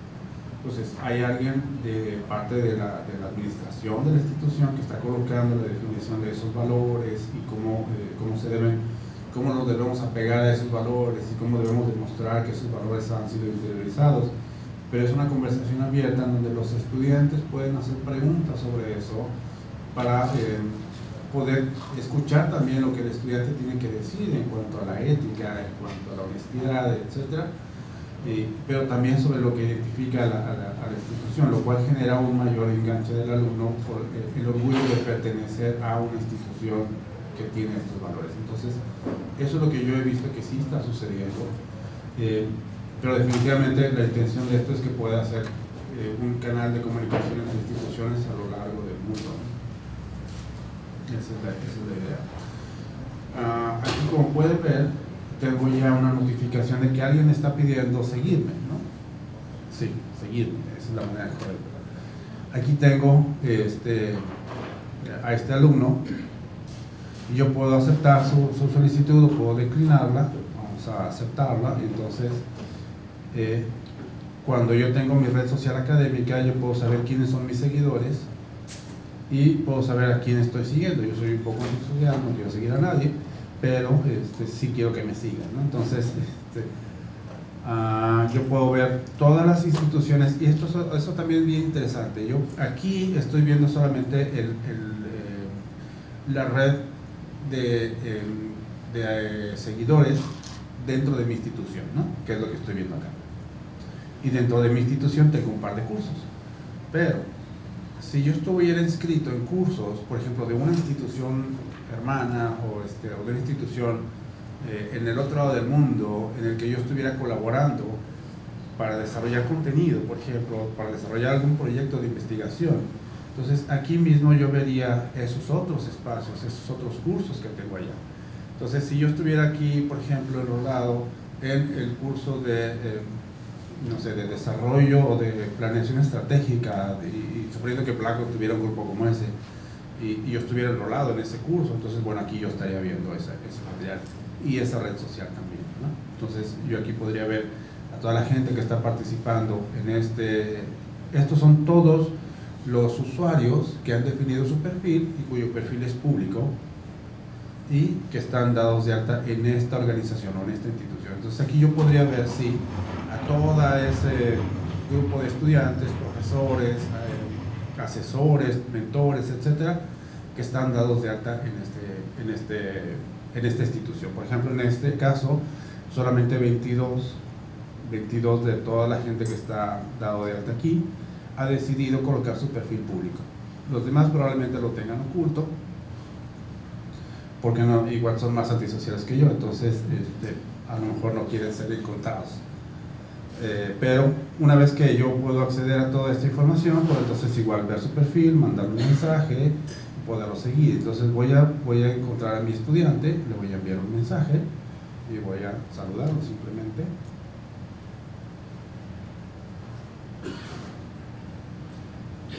Bien, entonces voy a regresar del otro lado y eh, voy a ver a quién estoy siguiendo y aquí tengo al profesor al cual estoy siguiendo.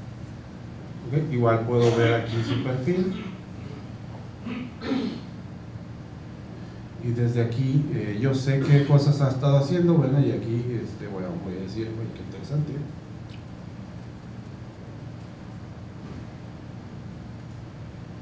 Y empezamos ya esta conversación. Entonces podemos estar hablando de todos los temas que a ustedes se les ocurra.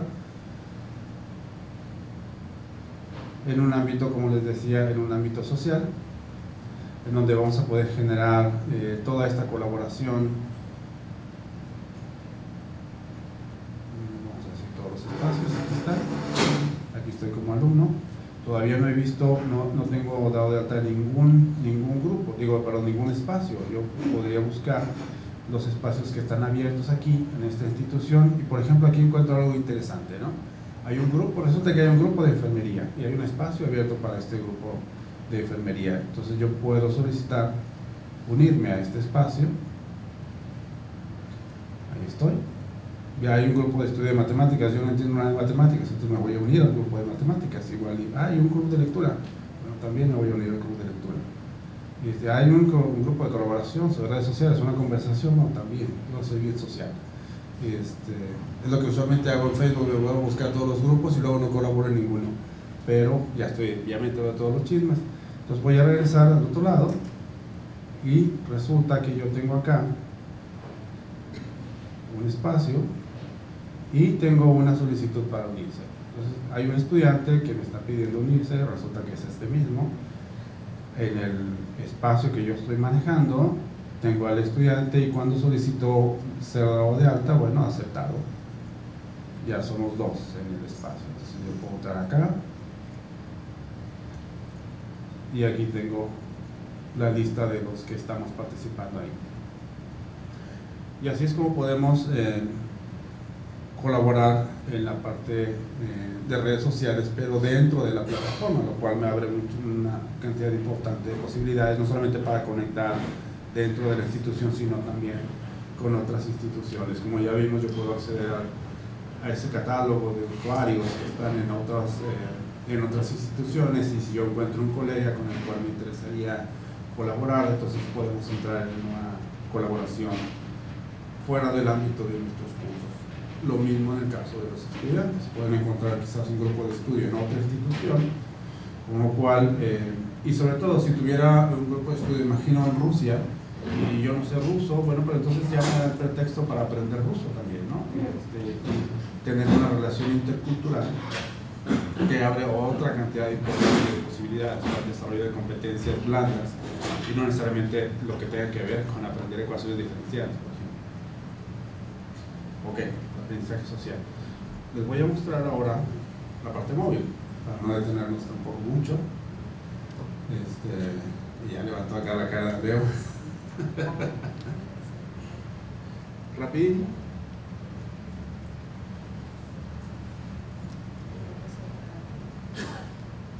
Ahí va.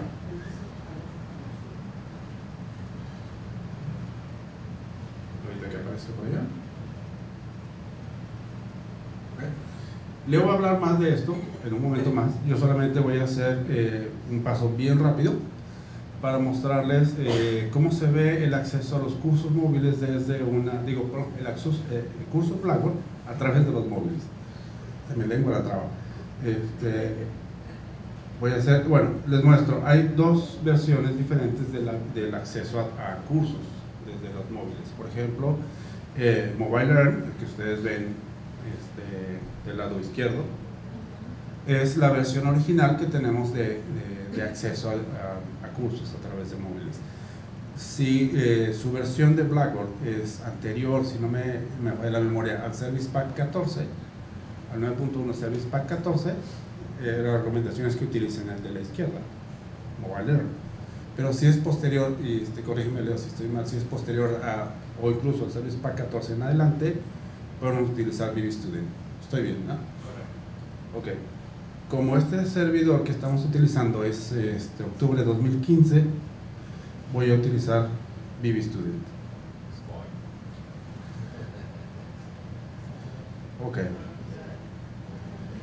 Esto es lo que yo vería al momento de entrar, ¿no? De, este, bueno, primero, si es la primera vez que utilizo la, la- la- la aplicación, me va a pasar una serie de avisos diciéndome o dando una explicación muy rápida de cómo se utiliza, ¿no? qué voy a encontrar aquí, etcétera. Pero eh, lo que veo de entrada es, por ejemplo, este stream, lo que voy a ver es todas esas cosas que han sucedido en los cursos de Blackboard recientemente. Por ejemplo, ya tengo una tarea de curso de enfermería avanzada y tengo una segunda tarea del curso de enfermería avanzada. Por- Son un par de tareas que tengo que entregar y son cosas que sucedieron hace ocho horas. Ahí lo pueden ver en la parte inferior. Desde aquí puedo eh, entrar a esa sección del curso sin tener que navegar, de, me voy a la- a la- al home y luego a la assignments y luego, no, desde aquí directamente puedo llegar al, al- al curso y puedo navegar en el curso o bien puedo buscar las calificaciones. O sea, digamos, esto es lo más usual. O sea, yo voy a llegar al curso para ver si tengo algo que hacer. e Inmediatamente voy a ver cuánto, me, cuánto saqué, ¿no? En alguna tarea o en algún examen. Entonces yo puedo ver desde aquí la- las tareas y los exámenes. Puedo regresarme, vamos a decir, a ver qué otros cursos tengo. Entonces resulta que tengo uno de matemáticas, uno de enfermería y otro de enfermería avanzada. Me gusta mucho la enfermería. Entonces puedo ver todo ese material, puedo ver mis calificaciones. Estas son las calificaciones en todos los cursos que yo tengo eh, dados de alta. Y, por ejemplo, en enfermería avanzada tengo un par de actividades. Eh, en una tengo un 70 y algo y en otra un 50 y algo, si no me falla la vista aquí. Y puedo entrar a estas actividades y ver, bueno, cómo estuvo la evaluación. ¿no? Eh, aquí, por ejemplo, tengo, como esta es una actividad que yo puedo entregar muchas veces, yo desde aquí puedo eh, saber, por ejemplo, aquí dice que tengo intentos limitados, no hay una fecha de entrega en particular para esta actividad, si la tuviera, entonces aparecería ahí en la pantalla, y puedo saber que tengo dos objetivos, eh, digamos, estratégicos o dos metas asociadas a esta actividad.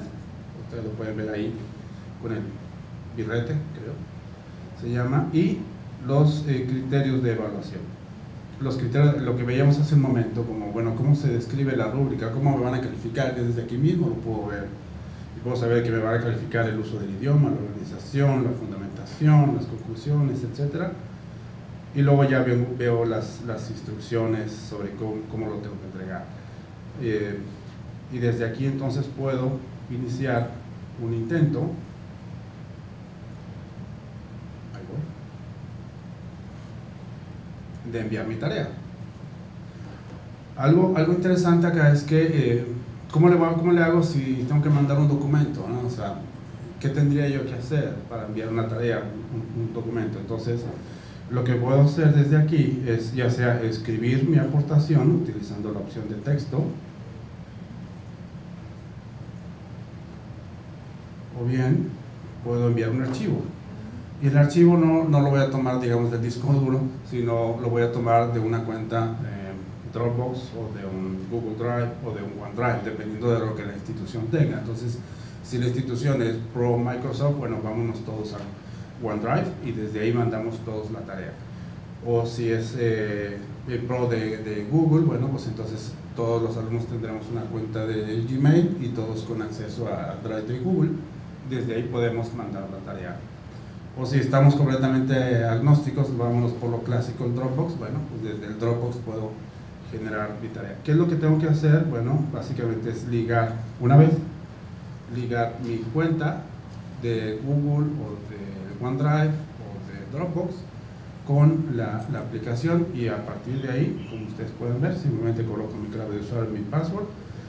Eh, la relación aquí de, de, la forma en cómo vamos a guardar, no guardamos usuarios ni passwords en, en Blackboard, sino simplemente se establece la, la conexión una vez. Si, si estoy mal, me corriges, Leo se establece la conexión. A veces digo por la preocupación de decir, bueno, entonces Blackboard va a saber cuáles son los, los usuarios y passwords de, de, Gmail o de OneDrive. No, no lo sabemos. Esta relación se establece una vez, se guarda, digamos, la relación de confianza entre los dos sistemas y hasta ahí llegamos. Puedo eliminar la, la liga en algún momento que ya no lo necesite, este, o si tengo una nueva cuenta de Gmail, bueno, pues entonces utilizo esa otra. No tiene que ser una cuenta institucional, por supuesto, si yo tengo una cuenta personal, de Gmail puedo utilizar esa cuenta, desde ahí puedo mandar mis tareas también. O puedo tener acceso a mis, a mis uh, imágenes, ¿no? ¿Ok? De nuevo puedo tener acceso a la, a la, información en detalle de la tarea o puedo guardar esto como un draft. Ya no me dio tiempo, ya llegué a donde iba, iba en el camión, este, ya llegué a donde iba, no me dio tiempo de terminar la, el ensayo que estaba haciendo, lo guardo como un draft y ya cuando esté en un lugar más eh, cómodo, termino lo que estoy enviando y, y, estoy listo. De esa forma yo participo en este, una nueva versión. ¿Qué pasó? ¿Se apagó la luz? Ah, ok. Yo pensé, bueno, ya hubo otro issue aquí con la tecnología, pero no. Este, lo que esté miedo, ¿no? Bueno, eh, aquí por ejemplo, tenemos una nueva versión. Son avisos, quizás yo guardé eh, previamente una, un draft para mi tarea. Resulta que este es el segundo draft que estoy guardando para esta tarea. Entonces tengo un aviso ahí diciendo, oye, tienes una nueva versión de un draft. Aguas con eso. Entonces resulta que estoy haciendo la tarea dos veces o tres veces. Entonces, bueno, es un poco de, información al respecto. Uh, si tuviera fechas de entrega de algo, bueno, desde aquí mismo lo puedo ver. Ahorita, por ejemplo, no hay nada que tenga que entregar. Perfecto. Soy un buen estudiante. Y bueno, como les digo, Leo va a, va a, hablar un poco más de esto y en mucho más detalle de lo que yo estoy haciendo acá, pero en esencia es esto. Ahora, les voy a mostrar del otro lado. Igual tenemos la versión para, para acceder a los móviles, eh, Mobile Learn, pero eh, nuestra estrategia, y de nuevo voy a hablarle más en detalle de esto, es desarrollar una aplicación específica para el profesor, que es el BB Grader. Entonces, dentro de BB Grader, lo que yo voy a hacer es, bueno, ya me di de baja hace un momento. Voy a encontrar primero mi institución. Y mi institución se llama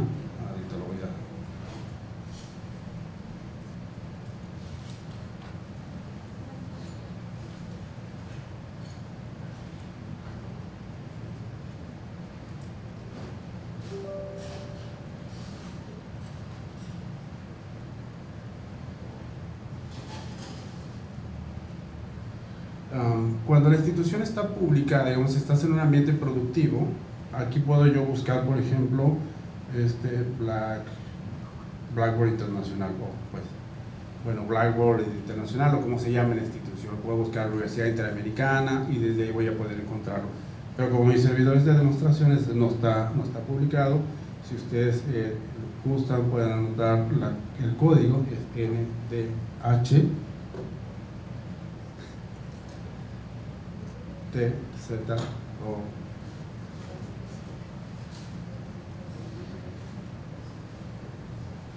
X. Bueno, me estoy desconectando aquí, voy a, voy a sostenerlo.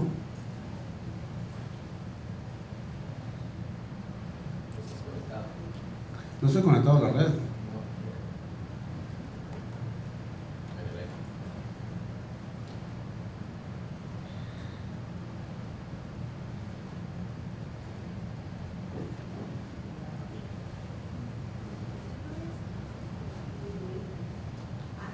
Bueno, antes de entrar deben asegurarse de tener red. Casi siempre funciona mejor así. Casi siempre funciona así. Entonces, eh, voy, a, voy a volver a intentar. ¿Dónde está? ¿Dónde está?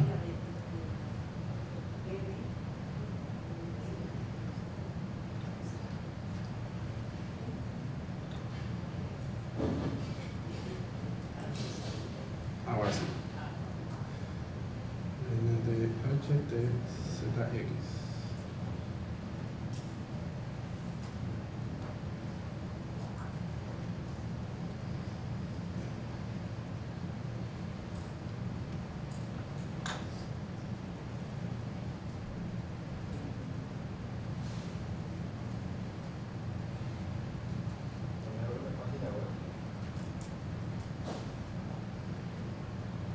Y lo que voy a hacer es usar la misma cuenta que uso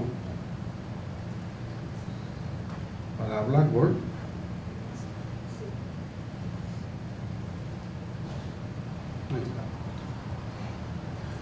Ahora aquí voy a ver la lista de todos los cursos a los cuales yo estoy, yo estoy enseñando ¿no? entonces si tuviera más de un curso en la parte superior vería un drop down puedo seleccionar los diferentes cursos que estoy impartiendo y luego lo que voy a ver es eh, todas, las, todas las tareas que tengo eh, programadas en esos cursos. Entonces, la barrita que se ve en la parte inferior me, me da una idea de cómo va el porcentaje de avance. Me entregaron eh, tres tareas y entonces voy a ver una barra vacía, pero conforme yo vaya calificando voy a empezar a ver que esa barra se va llenando. Entonces, puedo entrar a una de estas tareas y saber que tengo aquí por ejemplo, son solamente dos alumnos, pero uno de ellos mandó eh, dos veces la tarea.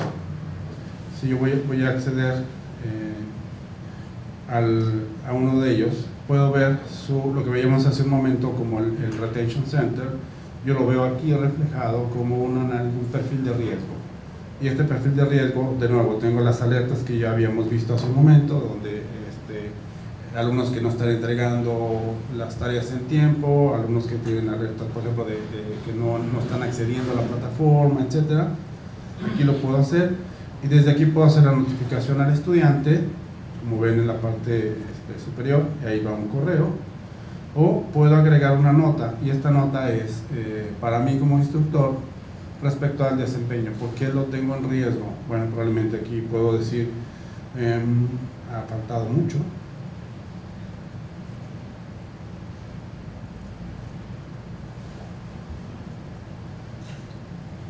y ya tengo una nota. Entonces, todas esas eh, notas que yo vaya guardando, las voy a visualizar en esta misma sección como el perfil de riesgo. Y si yo generé alguna actividad, yo programé, por ejemplo, una cita con el estudiante, eh, la puedo colocar aquí como una, como una nota. y esto me da idea del seguimiento que yo voy dando con este alumno en particular. Y eh, una vez hecho esto, yo puedo acceder al intento que hizo el estudiante. De nuevo, esto está pensado para que yo pueda calificar tareas eh, y puedo en, un momento dado colocar también aquí anotaciones y decir, bueno, esto no lo entendí o esto algo este, necesito más idea, no está claro. Y es una nota para el estudiante también, es parte de mi retroalimentación para el estudiante sobre su trabajo. Pero eh, puedo también calificarlo y dentro de la calificación yo puedo ver la rúbrica, como que veíamos hace un momento, y una vez que yo coloque la, la, la calificación, puedo colocarle aquí la retroalimentación, lo que veíamos en la, en la parte web, de tener este hojita, este cuadrante de Excel, desde aquí mismo lo puedo agregar, etcétera, y calificar. Así como voy seleccionando la rúbrica, los elementos de la rúbrica, se va generando la, la nota y entonces eh, puedo enviarle la calificación al estudiante. Como veíamos, la retroalimentación se la puedo generar desde aquí mismo con audio. Yo voy a decir, muy buen trabajo.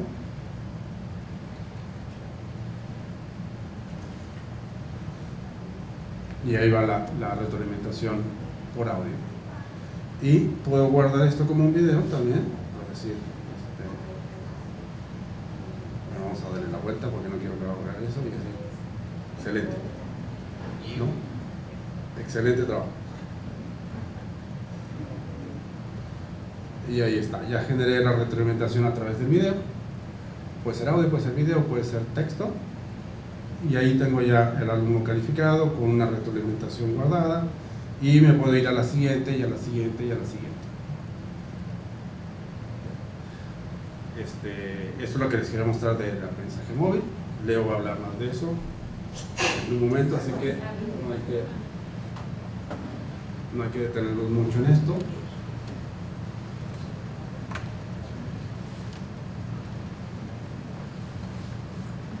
El día de hoy tiene que ver un poco con eso, tiene con el roadmap, que es donde vamos a, a ver qué viene en adelante y ahí podemos, por supuesto, aprovechar para hacer todas estas sugerencias de, de, mejora.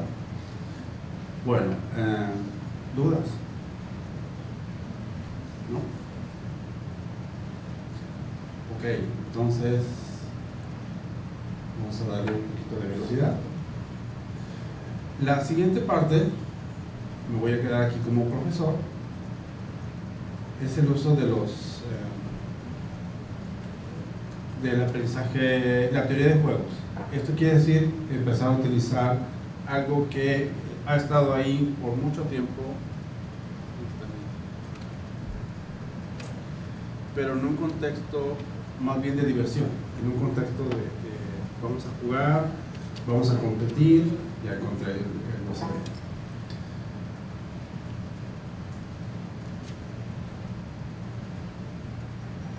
Aquí, open folder, ya está.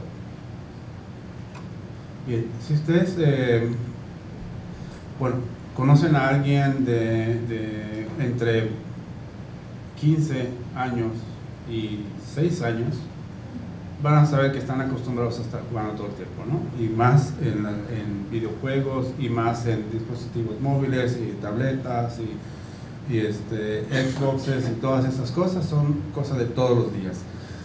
Y eh, por experiencia les puedo decir que eso consume un ancho de banda impresionante, sobre todo si, si, si trabajas en casa y tienes que hacer una demostración como la que estamos haciendo el día de hoy con alguien que está del otro lado, pero tienes a tres querubines en tu casa jugando todos y, este, videojuegos, es imposible.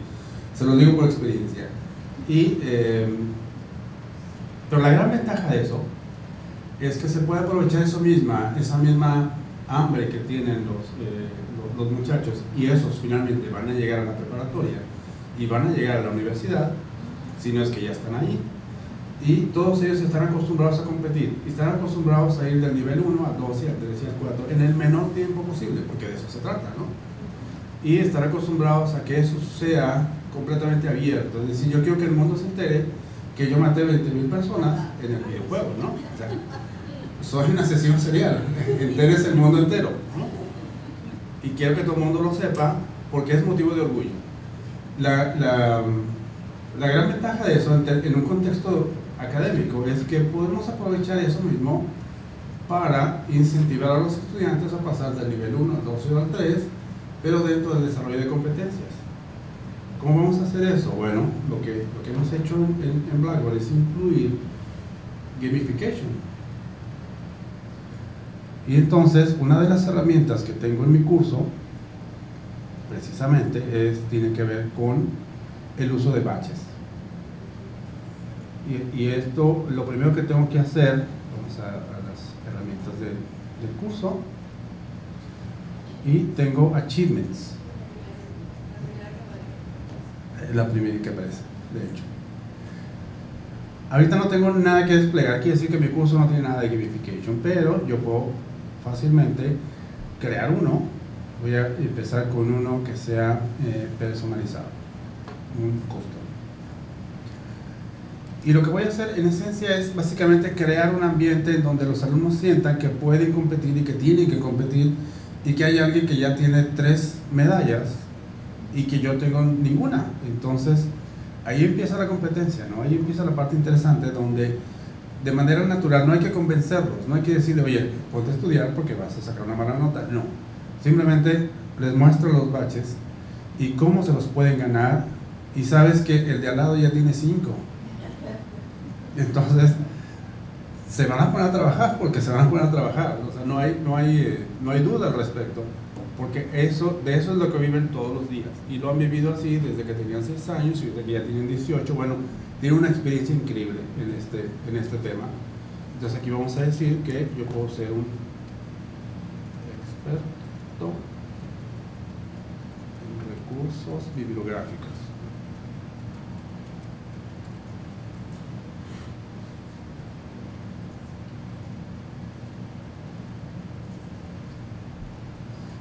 Ese es el nombre de mi, de mi batch, de mi achievement. Ahora, ¿dónde lo voy a colocar? Puedo, puedo definir diferentes cosas. Por ejemplo, ¿en dónde en, dentro de mi curso lo voy a colocar? Quiere decir, yo puedo tener un sitio, una ubicación central en donde tenga la descripción de todos los medallas o todos los batches o premios que yo quiera definir para mi curso, o puedo irlos colocando a lo largo del curso. Entonces, depende de la estrategia que yo quiera seguir. Si los voy a meter a todos en un solo lugar, bueno, yo sé que ahí van a llegar todo el tiempo para saber cuál es el siguiente nivel al que pueden lograr. Pero algo que podría ser interesa- interesante también es que yo se los voy colocando eh, siguiendo un poco la lógica de un rally, donde dices tienes que encontrar el primero y cuando encuentres el primero te vas al segundo y cuando encuentres el segundo te vas al tercero. Entonces escondo, o bueno, más bien no escondo, sino más bien publico los baches en diferentes secciones dentro del curso. Puede ser una experiencia distinta eh, haciendo una cosa que haciendo la otra. Entonces yo voy a seleccionar dentro de mi curso, quizás en el módulo de tareas, y ahí es donde voy a colocarles la, al menos este batch, ¿no? El tipo de, de batch, como decíamos, es un personalizado, y entonces aquí yo le voy a llamar eh,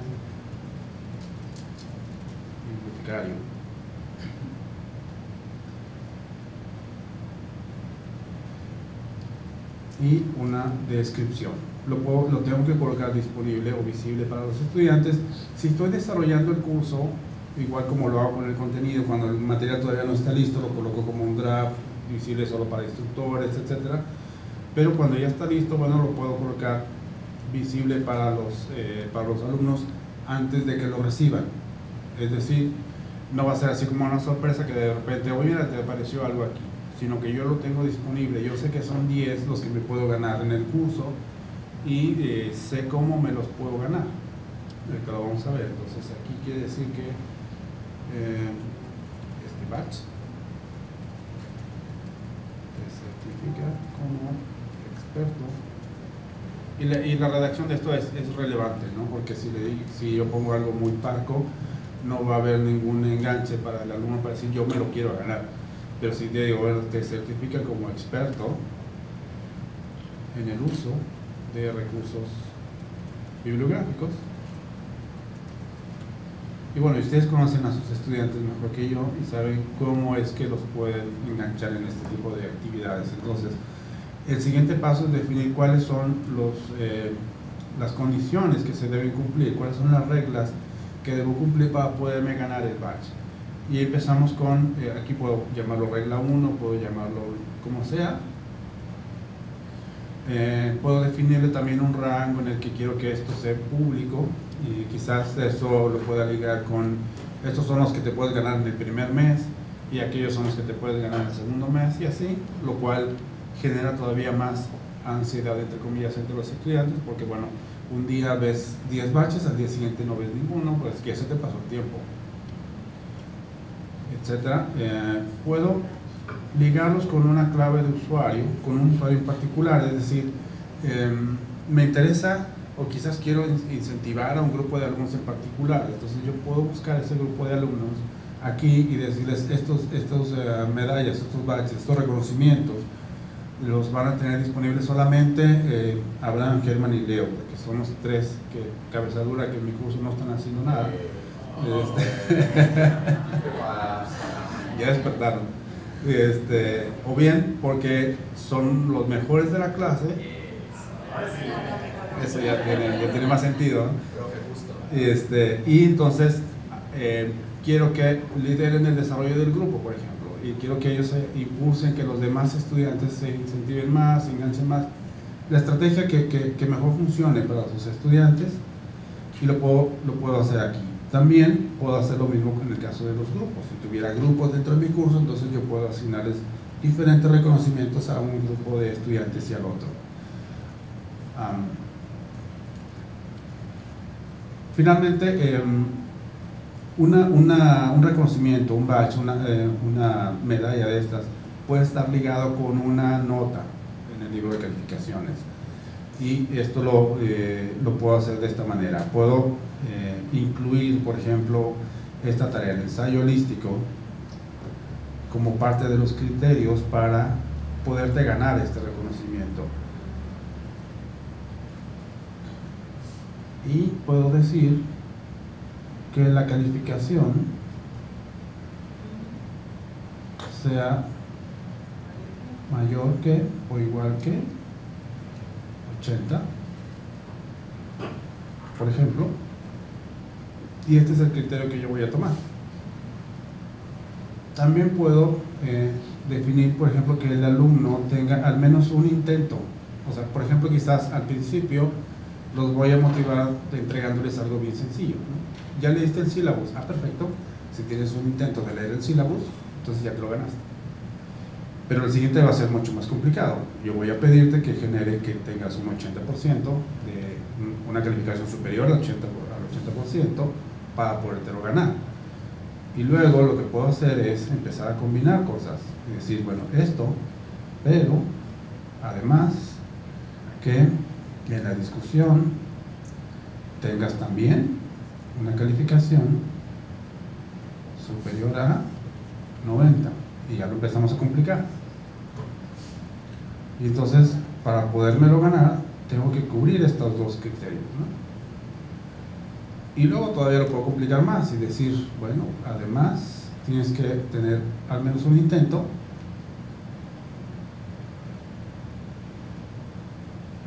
de, eh, la siguiente actividad. Ahí está.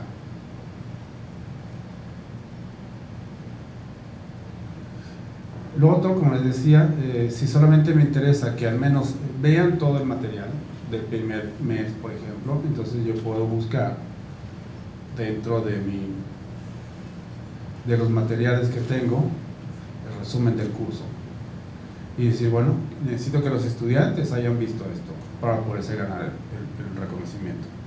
Si no lo ven, no se lo van a poder ganar.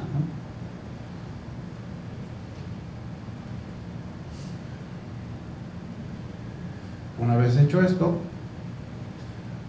tengo que ponerle a ver quién, quién te va a entregar este reconocimiento. ¿no? O sea, cuando te entregan un reconocimiento, generalmente es el, Instituto Carlos García de Educación Superior, te entrega el reconocimiento como experto en recursos bibliográficos y esto tiene una vigencia de un año. o tiene una vigencia eh, este, por los siguientes 30 días. ¿no?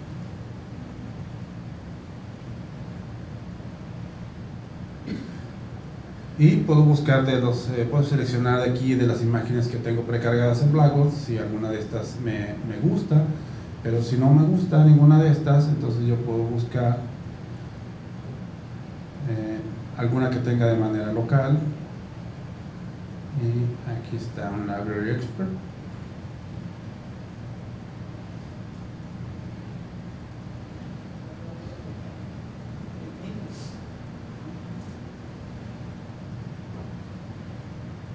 Aquí está.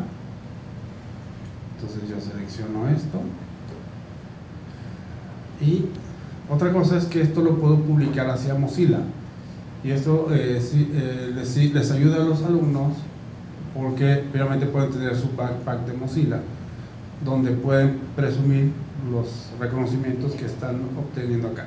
Entonces, de nuevo, interesa a todo el mundo que yo maté 20.000 personas en el nivel 5 de el Kill the People juego, ¿no? Entonces, esto, esto lo puedo tener eh, publicado para allá. Si no, bueno, pues al menos lo dejamos dentro de la institución y listo. Aquí estoy. Ahora voy a ir como, y puedo generar todos los que yo eh, desee. Ahora voy a llegar como alumno, de nuevo, voy a ir a mi institución, voy a regresar a mi curso. Y como veíamos entonces dentro de las tareas, aquí tengo la definición. Lo que voy a hacer ahora es colocar una, ah bueno, el mensaje de mi, de mi profesor. Entonces yo aquí puedo contestar. Bueno. Y ya estamos conversando. Perdón. Eh, voy a regresar como, como instructor y lo que voy a hacer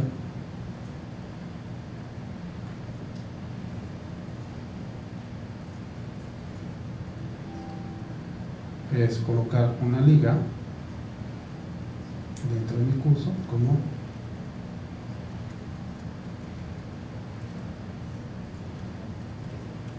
reconocimientos y disponible para mis estudiantes así como están mis calificaciones. Tengo una liga hacia los reconocimientos. Vamos a colocarlos ahí juntos para reforzar la asociación. Y entonces ahora sí.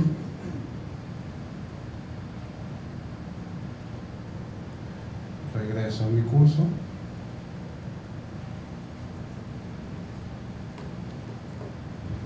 Y aquí están, junto a mis calificaciones están los reconocimientos.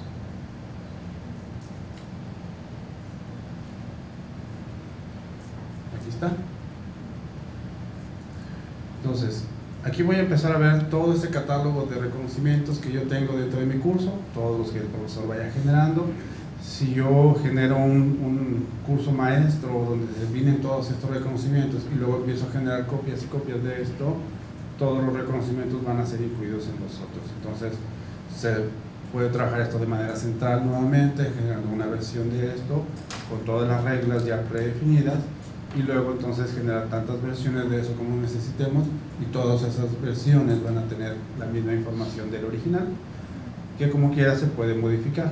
Quizás el profesor eh, Abraham es mucho más estricto que el profesor Herman y entonces él va a definir más reglas para poderte ganar el. Eso se puede personalizar eh, después. Ahora, ¿cuáles son los que tengo disponibles? Aquí están.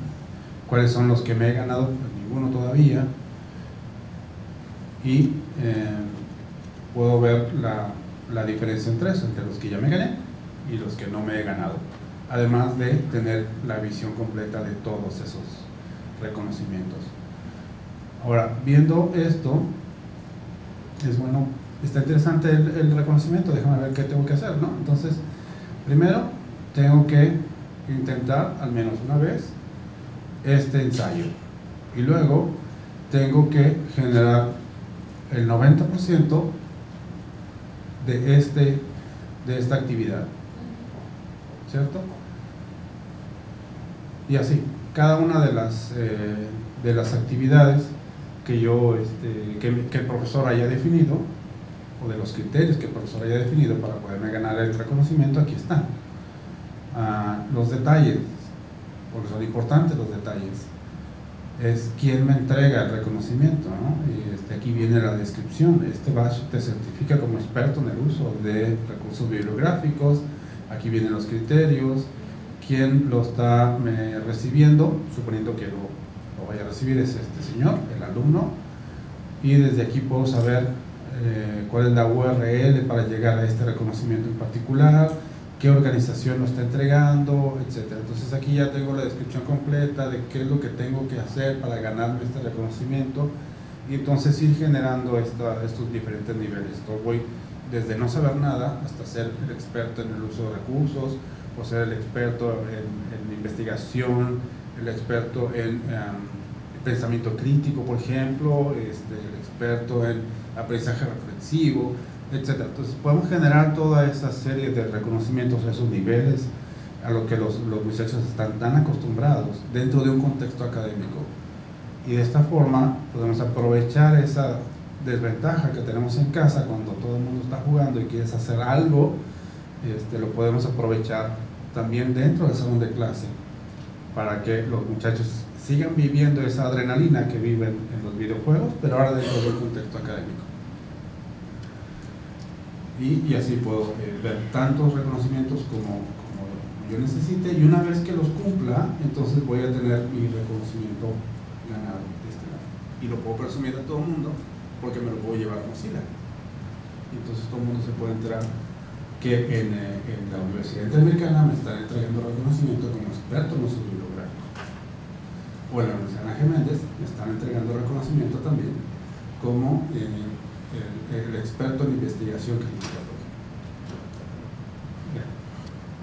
¿Ok? Ok, tres minutos extra, pero acabamos